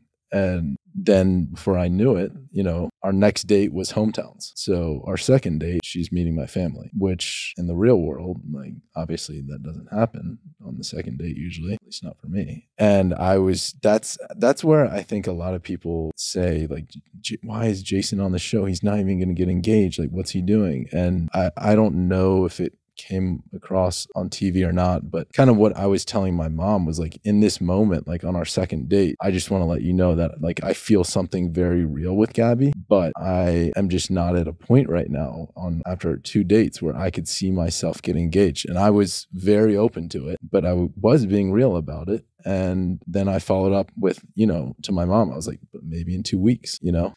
And that's when she kind of like broke down and, you know, got sad because she she loved her. She thought we were great together. And she was just like she could tell how distracted I was with everything going on. And Mhm. she didn't want me to lose something good just because of the environment I was in. Yeah. But but a common thing that I keep hearing is like, Jason, why are you on the show if you're not going to get engaged? And I was complete. I had an open mind to it the entire time. I just was, I guess, being too real about it. Uh, I Yeah. was hoping I could get to a point, but I thought I, I didn't realize we wouldn't have as much time together as, as we had. Yeah, I mean, listen, I, I think that's the challenge that they had with having two bachelorettes, and then like I I, I know this is because I've been a, on a handful of seasons, and so I'm aware of the time. But like, there's always a struggle, right? But I think you know, they're, again, they're they they care about love. They also are making a TV show, and I think, in my personal opinion, having two bachelorettes.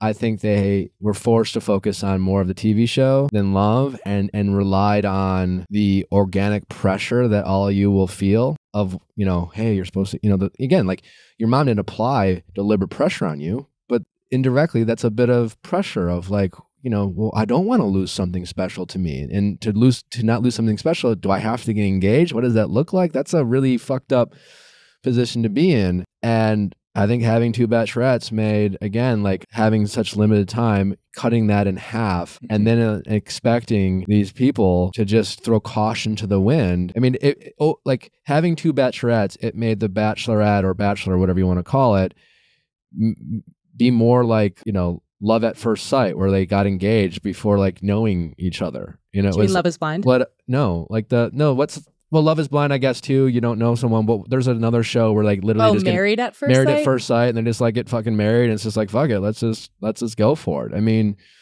it became a little bit more like that rather than what the Bachelor historically has been, and I think it's just uh, I think it's important to like just consider that when when wondering like why these people sign up for what they did. Yeah, and like you know, I I, th- I get that question a lot. I've seen it online. I've seen it. Um, people ask me in person, like, why were you on the show? Like, were you gonna get engaged? Like, why? If it was so out of your comfort zone, like, or whatever. And um, first of all, you don't know what it's gonna be like till you're actually on the show. And second of all, like, I was there for a, re- a real relationship, honestly. Like, I thought I could get there with Gabby, and like, I I kept staying there for her, and I did, you know, um, contemplate leaving but I've kept feeling something real and real with her. So I was like trying to use these tiny little windows that I got with her Mhm. to develop these feelings, you know? When you heard some of these other guys talking about love and they're the one, and clearly you two had a connection.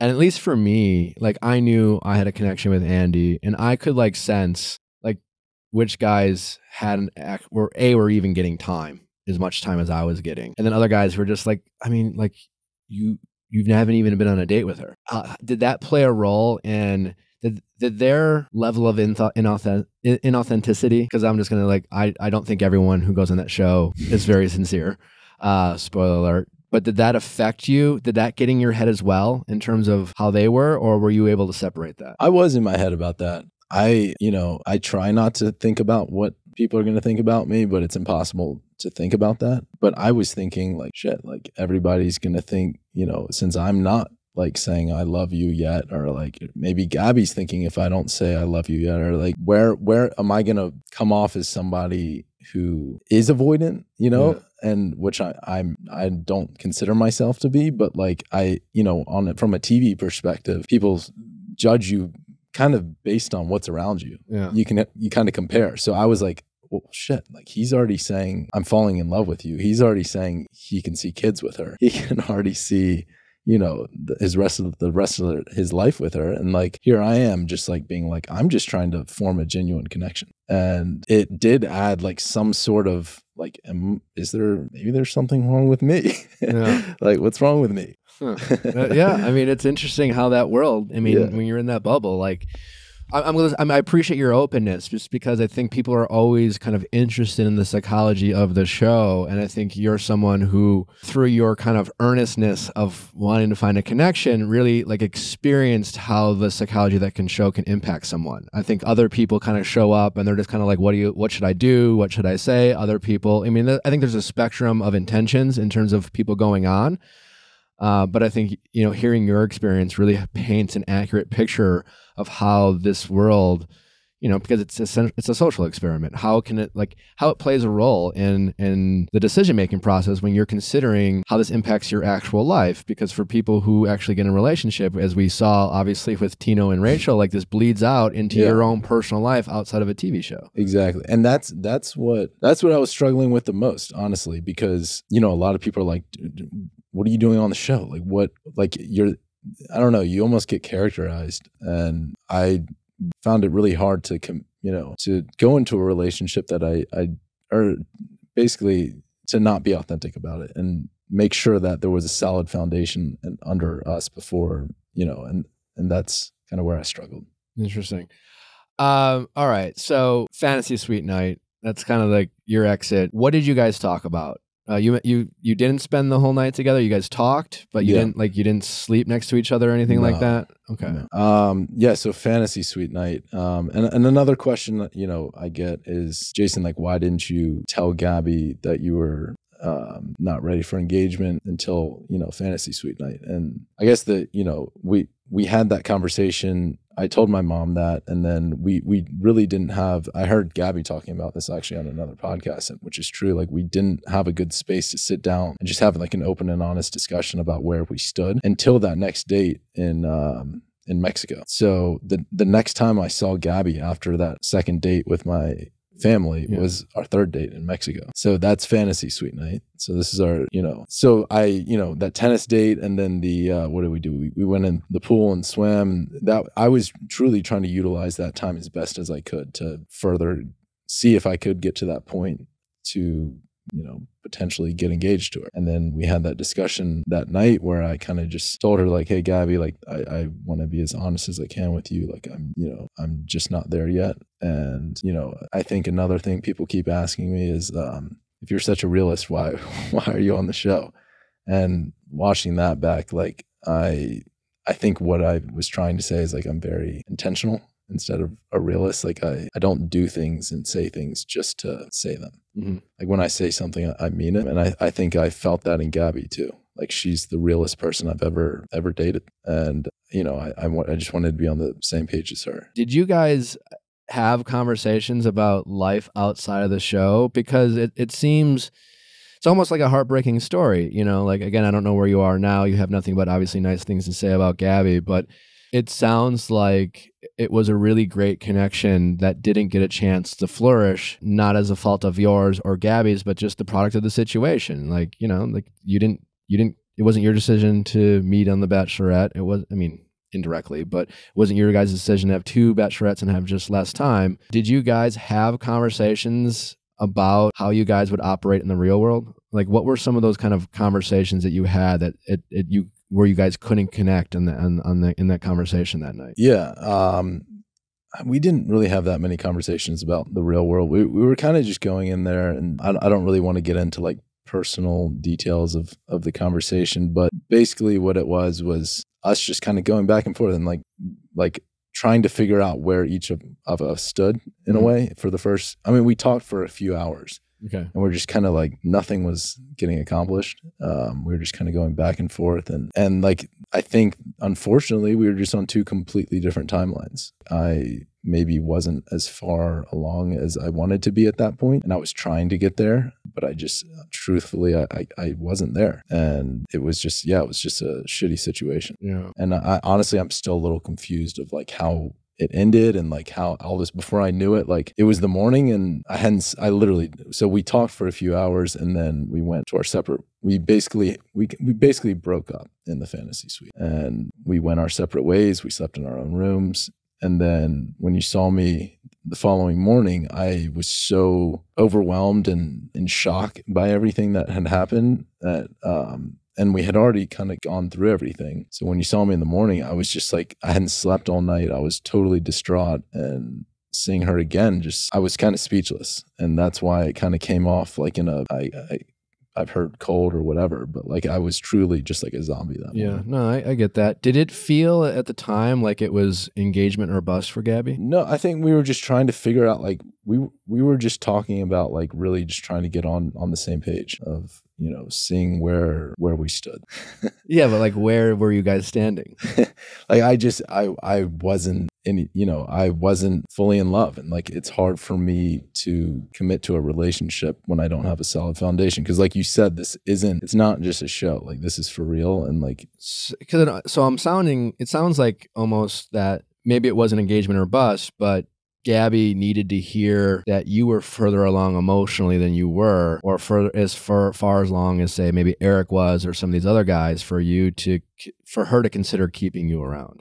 exactly like and and yeah at the end of the day like I I felt something you know so real with Gabby and and um and one thing we were talking about in the fantasy suite was like what if we did meet outside of this like would it be different and we just kind of kept going back and forth with that like would maybe this would work maybe and you know maybe then it would go maybe this wouldn't work like and we were just kind of going back and forth on that and i think it was just like a product of the environment like Yeah. for for me Gabby on the show kind of uh, well famously said that you led her on. Do you feel like you led her on, or do you feel like that was product of the moment? yeah she she said that um and i i have so much empathy for her because watching it back and like even just seeing what she went through i i, truly cannot imagine the, stress and how fragile of an environment and complex everything she's dealing with and for me to add any stress to that just absolutely kills me and any hurt that i caused to her i i truly feel you know awful for that and i'm sure you can kind of relate to that being the bachelor Yeah. of how how intense of a because it's intense for the contestants but she's dealing with 15 relationships or whatever it is. Um but yeah in terms of leading her on that's something you know that she did truly feel i guess. And i again like i i was just trying my best to get to a place where we could leave there together. Yeah. and unfortunately in her eyes like she did see that. I don't know for for me like i was yeah i don't know. I was just trying to be as real as i could. One thing I, I forgot to ask you, and so we're kind of uh, backtracking a little bit, but again, someone who struggled with uh, just ans- answering the question, is this world real? You know, are these people being real? There's also Gabby and Rachel, like the leads, right? Did you have any questions or fears? Again, not knowing anything about Gabby or Rachel, not knowing anything about this world, you didn't do your homework, et cetera, et cetera. Did you spend any time before you really got to know Gabby, like even wondering or worrying about her authenticity because of the wor- uh, uh, the environment? I think I mean like even watching her on TV, I I I knew she was like very genuine and very real. And it it did take me honestly probably like 10 10 11 days into even maybe more to realize that to separate the TV show from the relationship. It, it was such a foreign concept to me dating inside of a TV show and Yeah. inside of this simulation. That's what I kept calling it Yeah. and yeah I, I mean i was i don't i was skeptical like not of their authenticity or anything but just of the whole concept Sure, yeah. as a whole Yeah. Yeah. I don't mean it as a criticism Yeah. for Gabby or Rachel, yeah. but like putting yourself in, in that shoes, you're just like, I don't know what a, yeah i i didn't know what they were i don't know i guess i i was kind of questioning like are they really looking to fall in love? Like are what what's going on here? I Yeah. i truly it took me a while and then the first time that i realized holy shit this is real. This is actually real is when Gabby came back from the date with Nate that she broke up with him and started crying. And she came back to us and I was like holy shit like she really has real feelings for us and she truly does care about us. And that honestly that was the day that just switched my whole mentality on the whole thing and was like this is this is actually real yeah.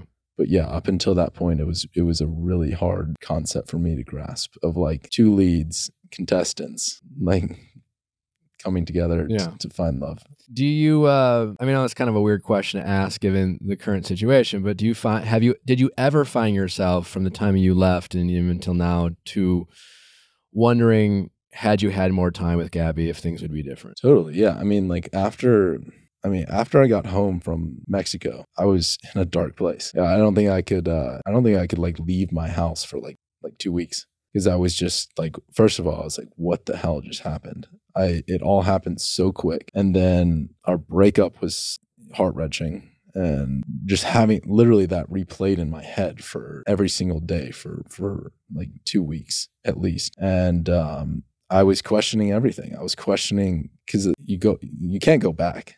Yeah. you know, I'm assuming she's with Eric at this point, or maybe Johnny. I actually didn't know who was left. And yeah, I got home and I was just, I was in such, I was just trying to process everything that happened. And I was like, I don't know. It's just like, did I fuck up? I know you guys live in somewhat proximity with one another. Did you ever consider reaching out or were you tempted to do that given or or or were you ever worried about just running into her? yeah, totally. Yeah, we, I think we live pretty close to each other. And yeah, I, I don't know. I kind of was hoping it, it was the it was the weirdest thing, like going through such an intense and even traumatic experience together, and then breaking up. You're not only going through a breakup, but you're also going through this ins- insane experience together, and then not being able to get any closure on that to sort out what actually happened. Because like when you go through some a breakup, anytime, like in the real world, you ha- you need time to like process it, and then potentially go back and like clarify have a some couple things follow-up questions. Yeah. follow up questions. Exit interview. Let me circle back on that. And then, yeah, in this environment, you can do that. Um, so I, there was every single day I wanted to kind of bump into her Yeah. and just get some closure or like talk things through. And I mean, yeah, it was insanely hard. Yeah. After experiencing that relationship and learning about yourself through the whole show process, what's the number one thing you want to cultivate in your next relationship? Yeah, I, I think the whole experience really did.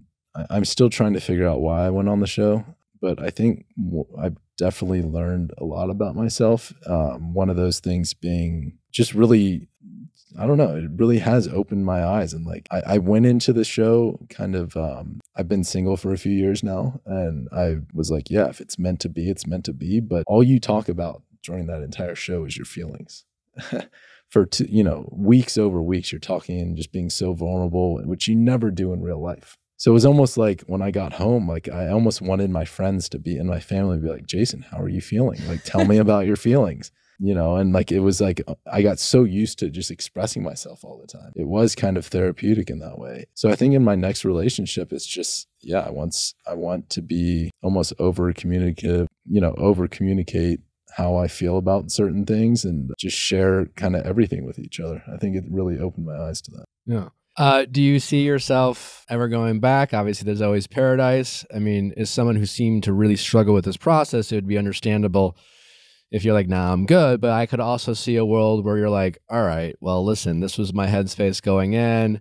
I now know how this works, and I'm not going to necessarily change who I am, and I'm still going to be as intentional and authentic as, as I need to be. But now I understand this world, right? And you can at least maybe give into the world a little bit because, again, I don't feel like I ever was inauthentic, but I definitely chose to accept the world I was in, and I was willing to take a little bit more risks and my feelings were always genuine but to get Yeah. to that genuine place i had to let go and stop asking myself self so many questions. And I, I can debate whether that was smart or not but it certainly allowed me to embrace an experience. Are, Yeah. are you open to at least considering embracing that experience in the future if the opportunity presents itself? I know it's a long way away, away a year away. You, you might be in a relationship by then but as it stands now would you consider that possibility in the future? Yeah, I mean, going back, like after I've lived through it all, I, I'm the kind of person that when I go into a situation that's new, I have to like sit back a little bit, like I did, and learn and observe the room and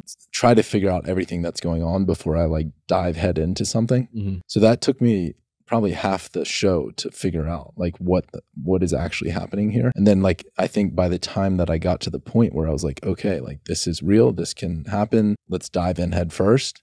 It was already fantasy suites. yeah it was over It was Yeah. over. And that's the thing that sucked the most for me was like going back, I I wouldn't sit at that fireplace that first night and observe everything. It's not like I was like too shy to like do it. You know, I, I I'm definitely not a shy person. I'm not like reserved in in in that sense. Like when I see something, I go after it. But I'm typically like I said, I, I if I did it again, I would now know the ropes, and I would that night Yeah. one, I would start that relationship that night. Yeah. And it's like you you you try to take your time and assess in a world that you had no time. I, I had no time and Yeah. and that's just how I am as a person. Yeah. Like I like to figure out every little detail, every little thing going on and then like I dive head in and go after what I want. And that was me like at, you know, I guess like at hometown fantasy suites, you know, um, which was way too late. So so doing it again, yeah, like I kind of wish I could do it again and just like dive head in first first night because now I I know what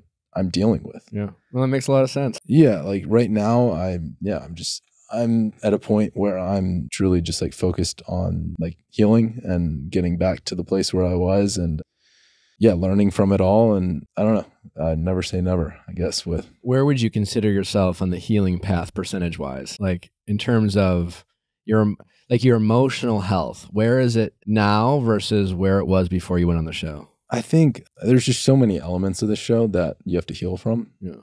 Like I said, not only are you going through this like crazy heartbreak, but you're also going through an insane experience, which takes a lot of time to, to process and heal from. Um, and like every single day, like I'll literally be sitting there at work right now, and all of a sudden I flash back to fantasy suites, and like it just plays over in my head, Yeah. like that conversation we had, and then like trying to f- remember things. Then like all of a sudden I'm at- talking to her on the couch, and that all day is just playing through my head, and like I don't know what that is, like, but it, it's just I'm I'm trying to get to a point where I'm just can, can like process everything that happened and kind of move on. Yeah. I want to ask you a question. I understand that Gabby is in a relationship with Eric and we, we respect that. So this is not really about like any tea or anything like that. But I'm getting the impression from you that all things being equal without being disrespectful or anything like that, like you, it almost sounds like even to this day, you could really use a cup of coffee with Gabby.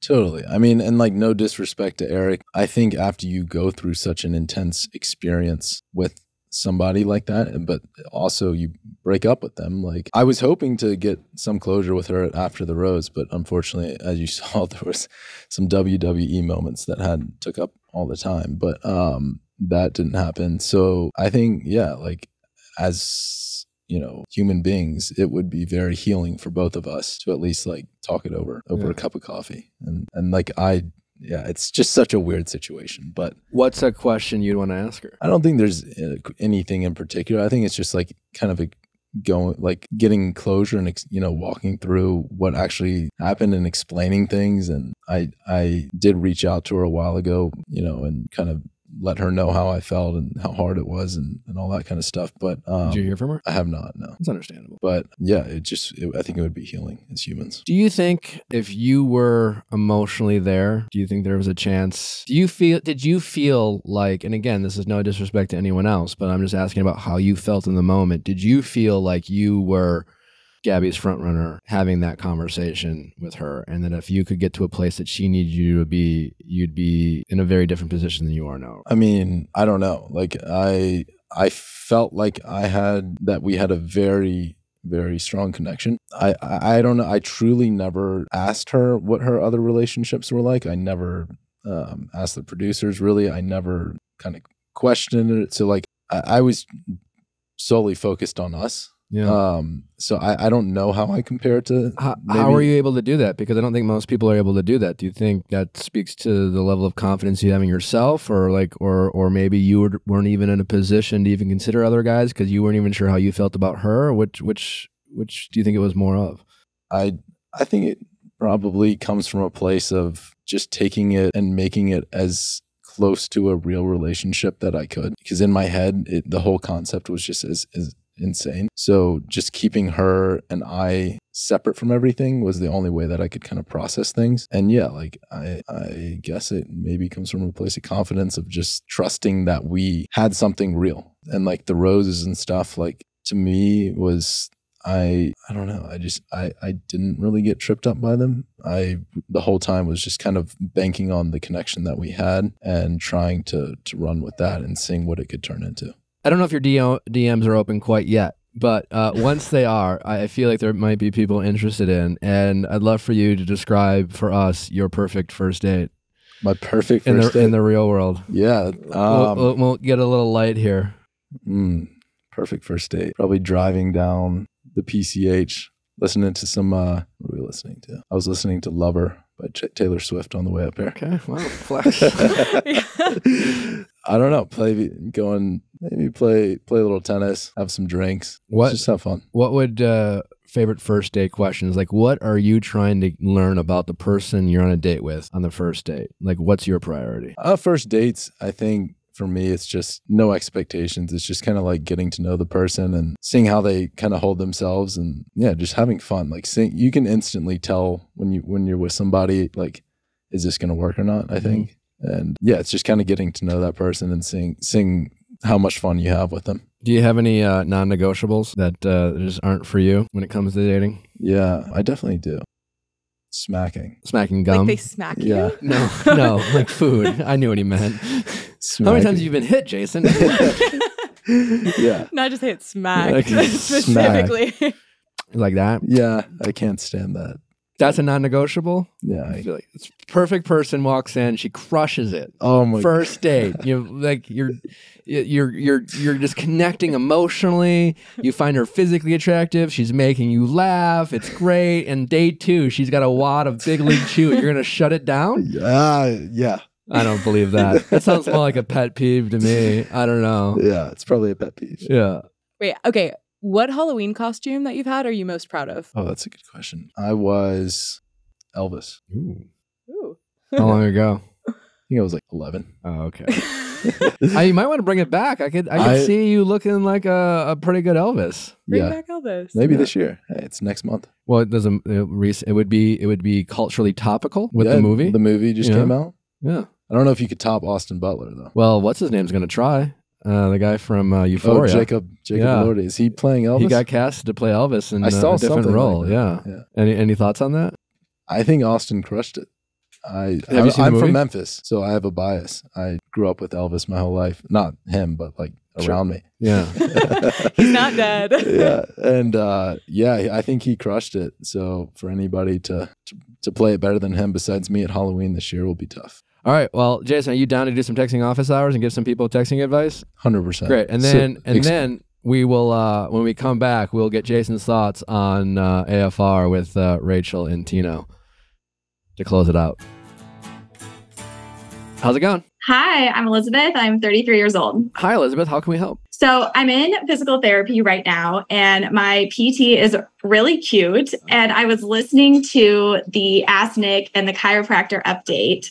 And I don't know if this is a thing, but I thought maybe we could do a redemption because I would love to shoot my shot at the end of my sessions with him. Oh, I bet you would. Yeah. Uh, uh, are we sure that they are uh, not in a relationship like our last person was? Yes, I am sure. He has told me that he's single, that he's like trying to date, and that he wants to meet someone in real life. I was like, oh, don't we all? So, Yeah. Is and I feel like I don't know if we have like a flirty vibe or like I think a little bit. It's but, her HIPAA yeah. rules. Yeah. I think she's allowed to divulge her own uh, medical history. Is PT part of HIPAA? yeah. I don't know. Yeah. Yeah. Yeah. We don't know. Well, I'm here. Do you mean and like I'm in terms saying of it, like so I feel like that counts it. for Is is it like a violation of his duties as a Yeah. physical therapist to Oh, it is. Oh, well, because I know if it's like a doctor, I know like I, I had like I did a questions with Nick, and someone asked a question about their doctor, and I got a bunch of DMs being like, "That's not okay. You can't do that." but I don't know. Maybe PTs fall under a different umbrella than. yeah, Uh, I don't know. And like obvi- obviously there's been like no line crossing here, but I was thinking like it has to come for me and I would do it at the end of my sessions. you want to do it in person? Well, I think I have to because I after the chiropractor episode, I was like, oh, maybe I could see if I can find him on Instagram, and I could not. You could not. Okay. Just a couple like you know, like let's just get this. Are are you prepared to see if it, how good is he at physical therapy? Like, is he irreplaceable? And no, I mean that could I could never see him again, and that'd be fine. Just so you know, if you went on a date with him, uh, he's gonna know that your first response is like, "No, of course he's not that special. Uh, he's just stretching me." Okay, so you can find someone else. Um, What do you know about him? Um, I know that he's a few years younger than me and he's single. He's like, he has said like he seems like he has a lot of good friends in the city we live in. Um, he really loves music. So we've talked about that and like different concerts. And he seems like pretty active and so am I. So I don't know, we have like a fun vibe. And I'm mostly like meeting people off of dating apps right now. So like I think I know enough about him that I would be interested in like asking him out. What would you love to say to him? Like, what do you think? Like, before we start mouthing off, like, I'm curious. what is your you're in you're you're getting worked on. Uh, session's ending. What? How would you like to approach this? Well, I had a thought because I don't know if this is a thing for men, but you guys tell me as the experts. But I think sometimes women say yes to things if they're uncomfortable in person. And like, I don't want put, to put pressure on him. And also, it's his workplace. So I feel like I don't know if I should like actually say this out loud. It has- has Okay, but out. if this were like a romance novel and you Yeah. could say whatever you wanted, what would you say? Oh my gosh, he'd be like, it would be inappropriate. He has to touch me a lot during the session. is it, but is it I getting feel like hot and there'd be, heavy like- during PT? I mean, in a way that like my muscles are being repaired, but like it is a hands-on type of thing. Okay. But how, okay, but in all seriousness, how would you shoot your shot?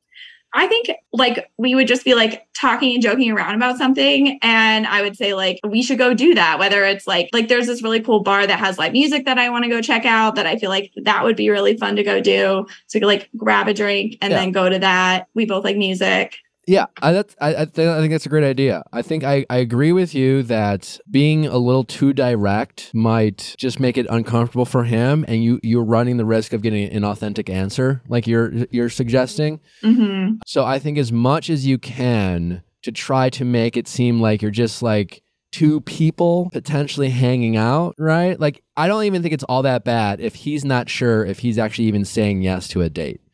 And then you just kind of know that going in. Just know that Mm. like hey, he might he might just be coming in with a casual. And then once you get him on the date, then you can make it pretty clear that you're going to treat it as a date. You know what I'm saying? Does that Yeah. make sense? yeah or like if we like text before maybe or something Yeah, so I mean I I, don't want to like I didn't even text- bamboozle I- him I- into this date Yeah, Ambush. listen, he's like I don't think you should be like so like vague or cryptic. I mean, he's an adult person, but I think you could NPT, right? Like like you said, think of something that you would want to do. Maybe there's this new place you want to go to, maybe there's a show that you're interested in. I don't know. And you can say something like he's working on it, you'd be like, "Oh, like maybe it's something as simple as bowling or roller skating."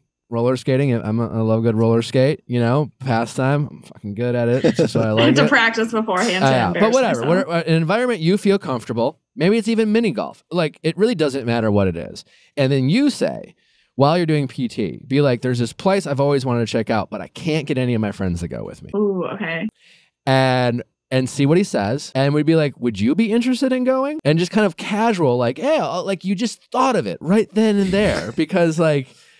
You know, and just Popped in my read mind. his vibe. And then you're just kind of like no seriously like if you would like to go like i'd love to go with you. And then like if you and, and then if you go like again if it's mini if it's you two mini golfing if it's you two bowling if it's you two roller skating if it's you two like having drinks like that's you know and and then maybe there like at the end of a date if it's going well you can say i'll be honest like i always thought you were cute and blah blah blah you know and i'm glad you said yes because i'm having a good time if it's going awkward you just like kind of just friend zone them at the end but i think it's okay early on to like not make it so heavy handed and so date like Mhm. because uh, I love that you want to ask him in person. You kind of have to because there's nothing to text. And Yeah. I think you just kind of keep it casual that way. And like he might pick up on the fact that it's not because, but he could also be like, oh, like I'd love to, but like I've just been really busy with work. You know, I don't think it's that hard for him to get out of it. But I think that way, even if it is a rejection, if he says no, you're, I think you could be setting yourself up for more like, oh yeah, great. You're like, my friends don't want to go. Either do you. So No one does. No one does. All right, I'll just keep looking. you know, you can make a joke out of it. I think that's what you should do. Any thoughts, Okay. Jason? I, I, th- and I get, I get it. I get why you give dating advice after hearing that. that I was taking notes over here, actually. that I think you hit the spot. I mean, I love the fact that you know you say, "Hey, I have something that I've been wanting to do. None of my friends want to do it," and see what he says. I think that's the perfect lead-in for that. Yeah. honestly, especially for this situation where it is, you know, a little funny being your PT. Yeah. So- And like if it's mini golf, you're just like, you know what no one does anymore? Mini golf. Mini golf. And he's gonna be like, Well, I'm in a league. No, just- oh god. it could be like bocce ball, you know, like uh, uh, like there's so many options that you could, you know, and, and maybe try to find something kind of unique. Go to Paris. Yeah. That's what we usually do on first dates. Yeah, go to go to Paris. yeah. Yeah. Classic. Uh, and then I like ask for his number. That seems so such a simple question, but then that's the next step. Well, and then we yeah, I mean, if you're if you throw it out there casually and he he bites a little bit, he's like, "Yeah, that'd be fun." Then you'd be like, "No, I'm serious. Do you want to go?" Just just be like, "I'm I'm." You know, because a lot of times people will say these things in passing. Oh, we should go sometime, and they're like, "Yeah," you know, like. I, I asked Billy Eichner out to, to get dim sum and he was like, I would love to go. And I like afterwards, like we message, and I'm like, I'm serious. I would love to take you to to Din Tai Fung because I love taking people there, and honestly, I want to become best friends with Billy Eichner. But you know, a lot of people say it casually, and you almost have to say, no, no, no, like I'm I'm down. Are you really down? I'm down. If you're down, give me your number. Or you could say, here's my number, or you know, whether you decide. Okay. Amanda's got an idea. no, I don't I don't think it's a good one, but I think for the for the purpose of discourse, um what if you wrote him a little note and you folded it up and you handed it to him and you were like, "Hey, promise me you won't open this until you're like out of work." And then it just says like, "Now that you're out of work, I would love to grab drinks." I Um, did actually think about like on the last day, like I don't do like a thank you card or something, and then writing in there like I don't know, thanks for being a great PT. By the way, I think you're cute. Here's my number. We should go out sometime. I like my idea better. I, I like Okay. his better. Yeah. No offense to I you. knew, no, I knew it was a bad one. But That's why I called Yeah. in. I'm not saying your idea is bad, but given hearing what your concerns are, I think our I'm going to say That one- our yeah. our suggestion, Okay. uh, Jason and I's, um, because you had the bad idea, Amanda. Sure. Uh, Thank you. Amanda's had some amazing ideas. This allows you to like still have him as your PT person. You can totally pass this off as just like my friends don't want to go, you don't want to go, whatever. There's so many outs. Amazing Here- safety net. Like a, a- Mhm. yeah, it's ama- like the the note. I mean, you might as well just That's ask about in person. you know, like what like I get nervous when people do shit like that to me. It's just like, oh Yeah. fuck, I got a note. I gotta read. I'm gonna Like- start writing you terrible notes. Yeah. like I wasn't and it starts with like I wasn't gonna say. But uh, I think you need to know everybody. yeah, yeah, I, I think if you're looking for outs and safety nets in a way not to like make this like awkward and, and make him uncomfortable, I think this is a great way to like suss out his interest level and and pass it off as just you just being a social person. And then once and like and listen, if he's saying yes, he's considering the possibility it's a date hmm right? And uh, just be flirty, and you will, you know, pay attention to him, just like women want guys to pay attention to them. Pay attention to his body language, what he says. You'll you'll pick up on it. Like, just be be open to whatever he is. Don't want him to like you because again, you don't know anything about him other than the fact he's good at PT. And and don't forget to learn uh, when you're on this date, as opposed to just being focused on him. You know, don't obsess over worrying about if he knows this is the date. Just go Yeah. open minded and being open to learn about him. And if you are focused on learning about him, you will be in a position of power because he'll feel compelled to answer your questions.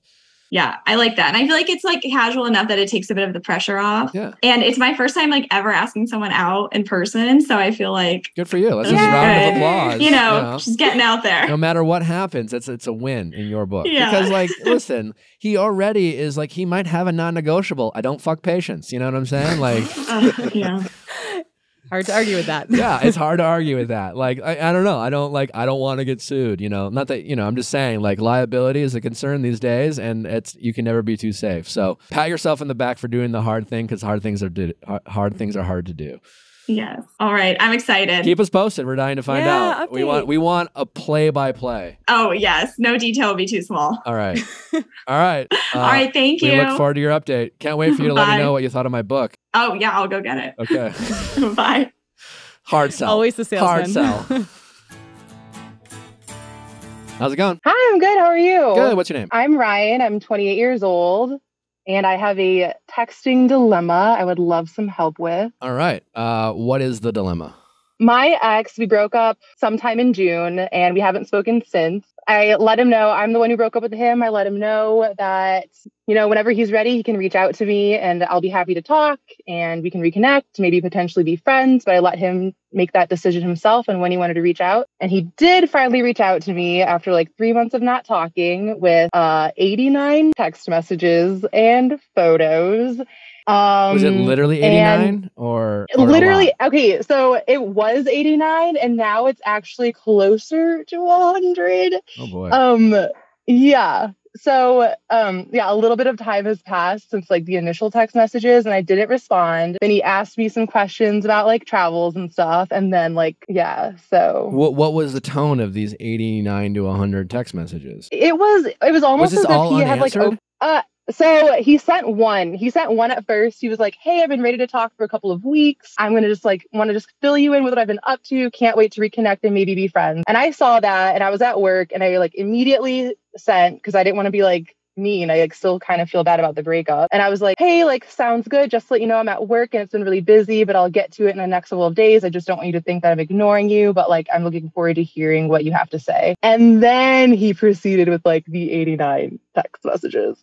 Um, and, the- it was also photos and the tone, it was almost as if he had like opened up his notes app like every day for the past three months and was like recording what he was doing and then like sent that whole thing to me with like a series of photos and it was is like a total overshare as well. So yeah, that's what.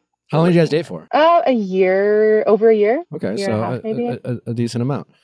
And you haven't responded since. And your question is like, how? What do you do with these hundred messages, kind of thing? literally what do i do with 100 messages yeah i responded once like two days ago i said something like hey i'm like not ignoring you i'm just like overwhelmed and i will get to these soon or something like that i just like really didn't know what to say and like also in one of the messages he was like I got throat gonorrhea from a girl at a festival because she had like group sex the day before and it sucks. Then he like sent me a photo of him getting like this ass shot of like him getting the medicine against the throat gonorrhea. Oh my! And it's just like, I don't need to know all this. So it's stuff like that where I just like don't know what to do. Is this like on par with the person you dated, or like this kind of openness?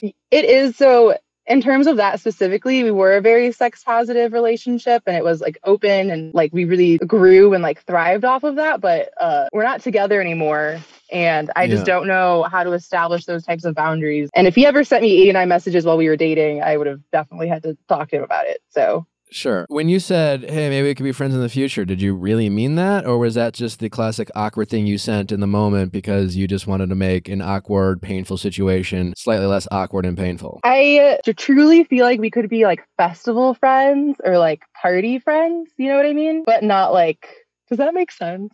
But not like sit down and like, Yeah. you know, share our deepest secrets. Sure. So not friends. Friend. Yeah. Okay. Yeah. well, what I sure. mean by that is it's like it's like yeah, yeah, I'm sure you could be festival friends. So basically, casual acquaintances, people you run into. You're like, hey, it's good to see you. I haven't seen you in two years, and you generally like their like company, but like there's no like real like bond or no reason to like actually hang out on a one-on-one basis. But like there's a reason why we don't do that with people we used to like intimately date for a year, year and a half and like consider like and, and like share real moments of intimacy in conversation. Like that's why that doesn't happen. So when I say not friends, I mean because like you know, like it's you're you're people are so worried. I mentioned this in my book, shameless plug, but people are so worried about like you know, when they get out of a relationship, we we want to like we're worried about how much it means anymore, which is also a little bit foolish. Like the relationship's over. And you're like, well, did it not mean anything? You know, it's like, I'm sure it did, but feelings change and now we're no longer together. Right. But the truth is, like, we do want to, like, still, like, reflect back on a relationship and go, that was a really, like, momentous, like, that was, that was nice. And I cared about this person. It was nice and it didn't work out, but, like, I have a lot of love and a lot of respect for this person and this relationship. And I personally think trying to be, like, casual friends or festival friends, as you call it, is disrespectful to the once meaningful relationship you had. Because if it was meaningful in any way, like why are we resorting resorting back to like festival friends? You know, like I'm not saying be rude if you happen to run into each other, but like going out of your way to try to be friends in a casual way like this is like not realistic and it just I don't I don't totally get it. I either find it to be insincere or unproductive. But I also I don't my gut tells me he's not interested in being festival friends. Yeah, that could be true. Um, Thoughts on this, yeah, I guess. Jason? agree. Um, I don't know. It sounds like he may be looking for something that she's not. Yeah, yeah. I'm uh 89 text messages. This guy like he's he doesn't want to be friends. He he wants you back. I mean, and he he might not even realize that now. But you don't send 89 messages like that, right? The person usually being broken up with is only willing to be friends because it's the only way they are allowed to have you in their lives, right? Yeah. So, but what I think you should do, do you have any suggestions before I just ramble on? I'm curious to hear you. listen, there's no wrong answer, really. He is your ex. And even though you said, you know, let's be friends, you didn't really mean it. But at the same time, if you, uh, I think the nicest thing for you to do, as long as you are comfortable emotionally, is to give him what you promised him and that it was time to talk and let things out. And it seems like while you aren't responsible for his closure, it certainly would be generous of you to give him a conversation that might allow him to maybe close a chapter on a book that he hasn't yet closed. And so I don't think you responding via text, I would say, hey, listen, sorry, I've been a little overwhelmed, but like, uh, you sent me a lot of messages. I, I, I, uh, I don't like, I don't think you want me to reply 89 times to these 89 messages. Uh, I'm down if you want to get a cup of coffee or maybe hop on a FaceTime and have a conversation. And then if you have that conversation, just shoot him straight. You know, hear him out. Let him just say what he wants to say. Just let him listen and just say, and then hit him with the hard truth of, yeah, time has passed. I've reevaluated, and I'm just not sure if like being friends is healthy for either of us right now. Or if, actually, Oh don't, my God. don't say right now. Don't say right now because he'll hear right now. Don't say right now. I, I stand corrected. He because he will only hear right now, and he will hold on to hope that's not there. But uh, you should say, uh, yeah, I, I don't think being friends is something that would be healthy for either of us. And it's going to hurt. And it'll hurt him, but it will be the nicest, most generous thing you can do. I agree. I think sometimes the hard Okay. conversations are the hard the conversations you need to have the most. So Yeah. I agree. Yeah. Okay. That sucks. I Why does it suck? I think W- I think my well, uh, for selfish for very selfish do selfish you want to reasons. sleep with them one more time? Well, and yeah, when I'm thinking of like festival friends, would be like hang out at a festival, have some great sex, make great memories, and then like we like don't really talk. But and I feel like that's also what he envisions, but that also might not be what No, like, the I, reality I am is. I am 99% certain that he doesn't even really envision it. I, I I would believe that he's convinced himself he's envisioned it. And I'm sure he likes to think of himself as something who'd be super mature enough and cool enough to handle that. But there's just no way it's just not going to get messy if you guys hook up again. And if you think this conversation is going to be hard to have, imagine that conversation. I know I've had it before with other exes. I should just yeah, you're right. Oh, so this is a Okay. pattern for you? I'm sorry. I'm feeling No, a little fine. feisty right now. Um, I'm just kidding. It's not not a pattern, but um, you know, a pattern patterns are meant to be broken. It's okay. Yeah. I can be grown now. You seem like a really cool hang and a really fun person to be around. And I would hate to let that go in my life too. But like, it's the thing about relationships. Like, once you give it a, a true chance, it's just, it's really hard to go back, you know? And like, I've been, I've, I've stayed, I've become friends with like women I've dated briefly. But like a whole year relationship, I, I I don't know. And then those women I became friends with, we didn't like deliberately reconnect. We like accidentally connected after like there was some great distance and then like randomly ran into each other and be like, you know what? It didn't work out, but like we're like we're mature, we can be cool. But that's not what this is.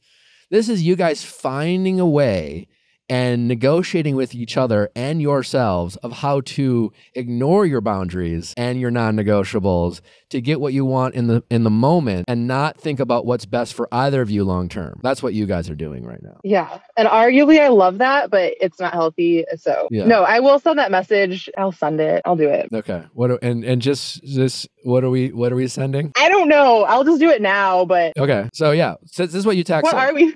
You text him, hey, sorry, and give him some insincere, like, uh, here's what you say. I'm finally actually getting to these. I'm, I apologize. It was just a lot at once, and I have been kind of tied up. But acknowledge that you're kind of finally getting to these. Okay. I don't think you want me responding individually to all these messages, but I am down to like have have a catch up conversation either over a coffee, coffee, not drinks, Okay. festival friend. Uh, or or Okay. or a FaceTime, and that's all you say. And then, assuming he says yes, plan the get together. And before you meet up with him, be very clear with your own boundaries for yourself, and and be willing to have an awkward conversation. Assume that he is going to try to. Get you back in his life. My guess is he will be covert. He will pretend that it's not to like get you back, and and he'll probably festival friend it up. You know, he'll probably try to act super chill and cool. And you kind of say the awkward thing is be like, I really just wanted to hear you out because you sent me a lot of those messages, but like I've been doing some thinking between now and we, we thought, and I, I think you're the greatest, but like I just don't think it's healthy for us. And I really don't think it's healthy for me, for us to like try to be friends. And you can, and if you want to hit them with a compliment, say, I care about you and I respect what we had too much. To try to minimize it into like something is casual as casual friends. Okay, that makes sense. And that will I make do his that. I- ego feel a little better. It will. I do love to do that. Okay. I send him the message, so I'll see what he says Okay. to um FaceTime or something. So okay. That's fine. Any Everything, final I'm fine. thoughts Everything's with her, fine. Jason? No, I think you know, 89 text messages is a lot. That's a lot. That's a lot. Um, Okay, it was a First of all. We we amped it up towards the end, but sorry, I didn't mean to interrupt you. No, it's okay. No. Uh, there's an intensity that he has there that I, I just don't think it's, yeah, truly. It's just like, that's not a healthy, it's not healthy that he did that. I don't think he's in the healthiest emotional state of mind right now, you know? he it's- said he was. Uh, of course he said it was. the text don't prove Yeah. prove that statement. Yeah. We, Yeah. we, we, we're very good at convincing ourselves of things that aren't true about our emotional, like, uh, state of mind. In fact, like, I don't think, I, I think we're very rarely honest with ourselves about that. So, Yeah, right. but more importantly, Fair you enough. know that you don't want to get back together with him, correct? Right? Sure don't. Yeah. So, Sure don't. I think the nicest thing to do for you would be to, you know, hit him hard with this truth, and uh, this will allow him to move on and heal. Unfortunately, you saying let's just be friends in the future, probably, truly, he probably there's a good chance he spent the next three or four months, however long time it was between the time you broke up and the time he first reached out, planning this. Truly. I mean, I've done shit like that. Like, you know, when I was fucked up over a heartbreak, I was just like, I'll just figure out how to get her back. She said we could be friends one day. All right, but before I reach out to her friends, I'm just gonna make sure I'm ready and I'm like, I've done the work and blah blah blah blah blah. And like, it, uh, it sounds kind of fucked up when you say it like that, but like we were very good at manipulating ourselves. Yeah. And I'd be willing to bet that he he he's this is all a big setup, and then he kind of like blew his wad, so to speak, with these hundred messages because you didn't get back to him right away. And the reason why he did that and kind of had the diarrhea of the text messages is because like he just wasn't prepared for you not to get back to him right away. He he was he he planned this for so long, and, and then it was like ah. I mean, I'm certain of it. yeah. So knowing that, just consider the fact and empathize with the fact that you're dealing with someone who's just maybe not in his be- he's not in his best place right now. He's not feeling his best self. He's very vulnerable right now, and so consider that vulnerability and just let him off with some hard truths so that he can actually start. He hasn't spent any time actually trying to get over you. Is my guess. Okay. That's a really good perspective actually. I didn't think of it that way. Yeah. I mean, I would love for him to like move on and be happy and find someone that was a better match. So, Well, if that's true, then yeah, you definitely need to Yeah. at this. Yeah. Yeah, it's true. I think I just needed to look outside of the bigger picture of the text messages and into his head. Yeah. Um, okay. All right. Well, I am dying to find out how this goes. Same. Uh, I'll let you know. I'll fill you guys in. I'll shoot you a email or whatever. I appreciate Congrats it. on your book. Thank you. I hope uh, I hope you enjoy it. Yeah. I'll Pre-order right I'll now. buy it. Yeah, I'll go. buy it, Nick. it, it given the context, it, you might find a nugget or two uh, that Yeah. I, I think you would uh, might enjoy. Yeah. Yeah, maybe I'll pass it around to my my uh, Festival soul friends. sisters and we can talk about it together. Have a little Uh, book discussion. I love that for all of us. Yeah. Yeah. All right. All right. Thank you so much. I, my pleasure. Thank you for calling in. Please let us know how this all goes down. Uh, I'm really curious about this one because I think it's very relatable and, and very hard to do. Yeah, I I know. know. All right. It's nice hard to meeting you, Nick. Nice to meet meeting you. Jason. Nice to meet you. Thank Good luck. All right. Take care. Good luck. Bye. All right. Bye bye. You mentioned uh, WWE. What, what did you watch uh, the finale? So I watched I watched Gabby's part, and then I went back and uh, I watched Teen, uh, Rachel and Tino and that whole thing the next day. Uh, I'd love your take. Yeah, I thought I felt so bad. I know all these guys on a personal level, Yeah. so to me it was like I think I looked at it through a different viewpoint than the audience because I know what yeah. these guys are actually like. Yeah. They're all good guys. Yeah, it's unfortunate what happened, the storyline behind it. Yeah, I- Tino. yeah so yeah that after uh, after the rose with tino and that was that was some tv um watching aven come out and just mr steal your girl with uh tino was not what i was expecting but um very entertaining i guess i could say what was your read on on that? Did you were you surprised they didn't work out, or what was your thoughts on that? i don't know i just i wasn't shocked i wasn't shocked Um, but at the same time, I wasn't expecting that to happen. I thought they were going to at least make it Yeah. past, I don't know if anyone expected that. Yeah. you know, past the secret house visits. Uh, anyway, you want to, you could get a hold of him and convince him to come on the show because he's he was supposed to, and and he he kind of. I mean, I get it. He's taking care of his mental health right now, but uh, I'll I'll do everything I can to get Tino on the show. All right. I'll bribe him. uh, well, we don't. You, I mean, sure, yeah, great. A lobbyist. Jason, thank you for coming. I'm so happy to be here with you, Nick. It was a pleasure. It's been fun. Uh, First podcast. I hope the people really felt like they got to know you better, and I hope they have a different perspective coming out of this than they did going in. And do you have any final thoughts that you want to share? Yeah, uh, it's something that came for context. Um, so I, I remember I was thinking back to when you were asking me, uh, like, what were you thinking going into this? and and like I said, I've seen clips of the show here and there, but I remember we were in the hotel about to start the night one, like the day before, and um, I went in to take you know the photos for the cast photos and stuff, and then remember somebody pulled me aside and was like, "Hey, like stand here um, and do this like TikTok for." Uh, for Bachelor Nation. And I was like, like I was really confused. I was like, what's Bachelor Nation? and she looked at me like this dude is fucked. Like, and I had no idea that there was a whole fan base Oh yeah. of oh yeah. like all the, I didn't even know Bachelor in Paradise was a thing actually. You didn't know about Bachelor in Paradise. I had no idea what Bachelor I learned that actually um I think after the show.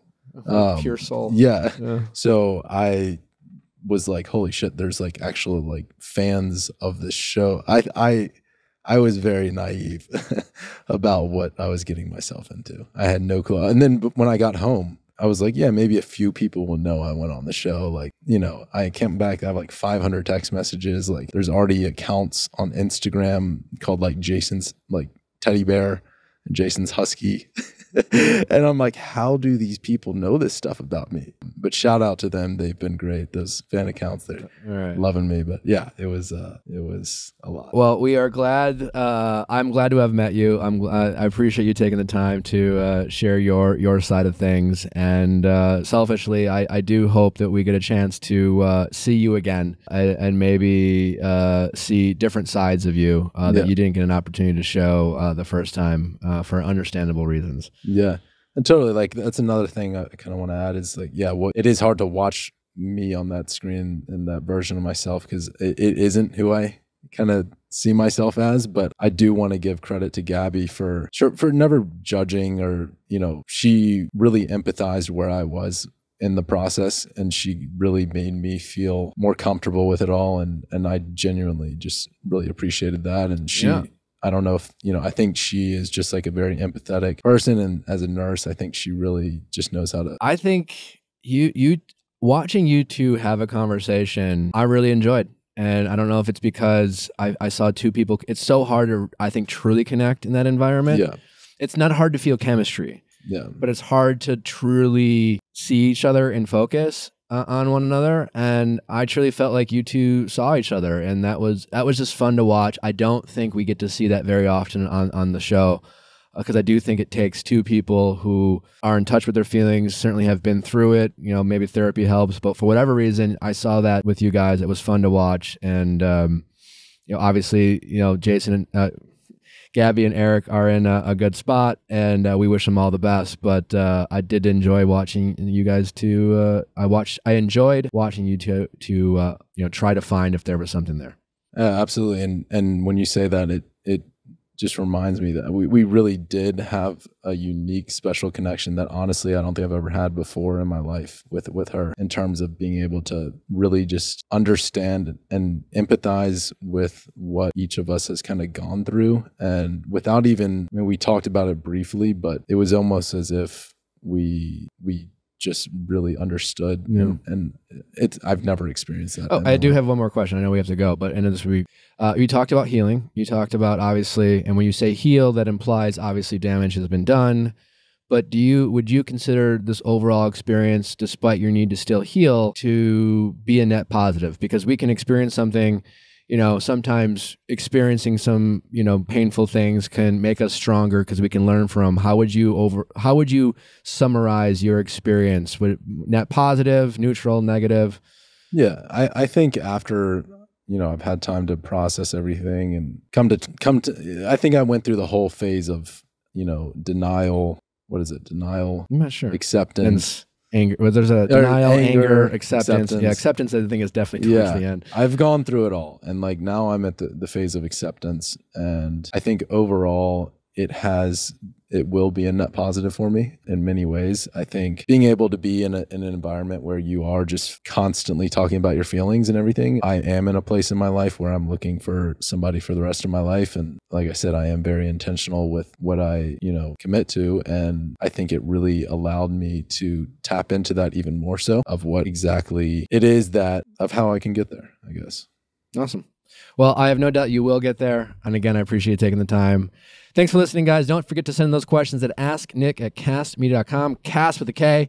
Uh, don't forget to uh, order my book, Don't Text Your Ex Happy Birthday, because it just came out October 4th, two days ago. And I'd love for you guys to read it. I worked really hard on it. I really think you'll like it. There's a lot of good nuggets in there. So check out viallfiles.com. And there's a bunch of different links to either order the audiobook or buy the book either on Amazon or all the different places you can order it. I really would appreciate it. And we will be with you next week. Have a great day. Bye.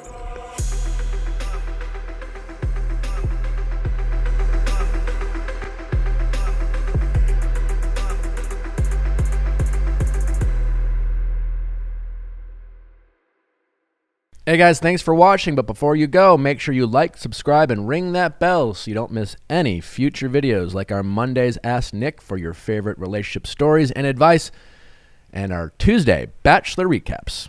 See you next time.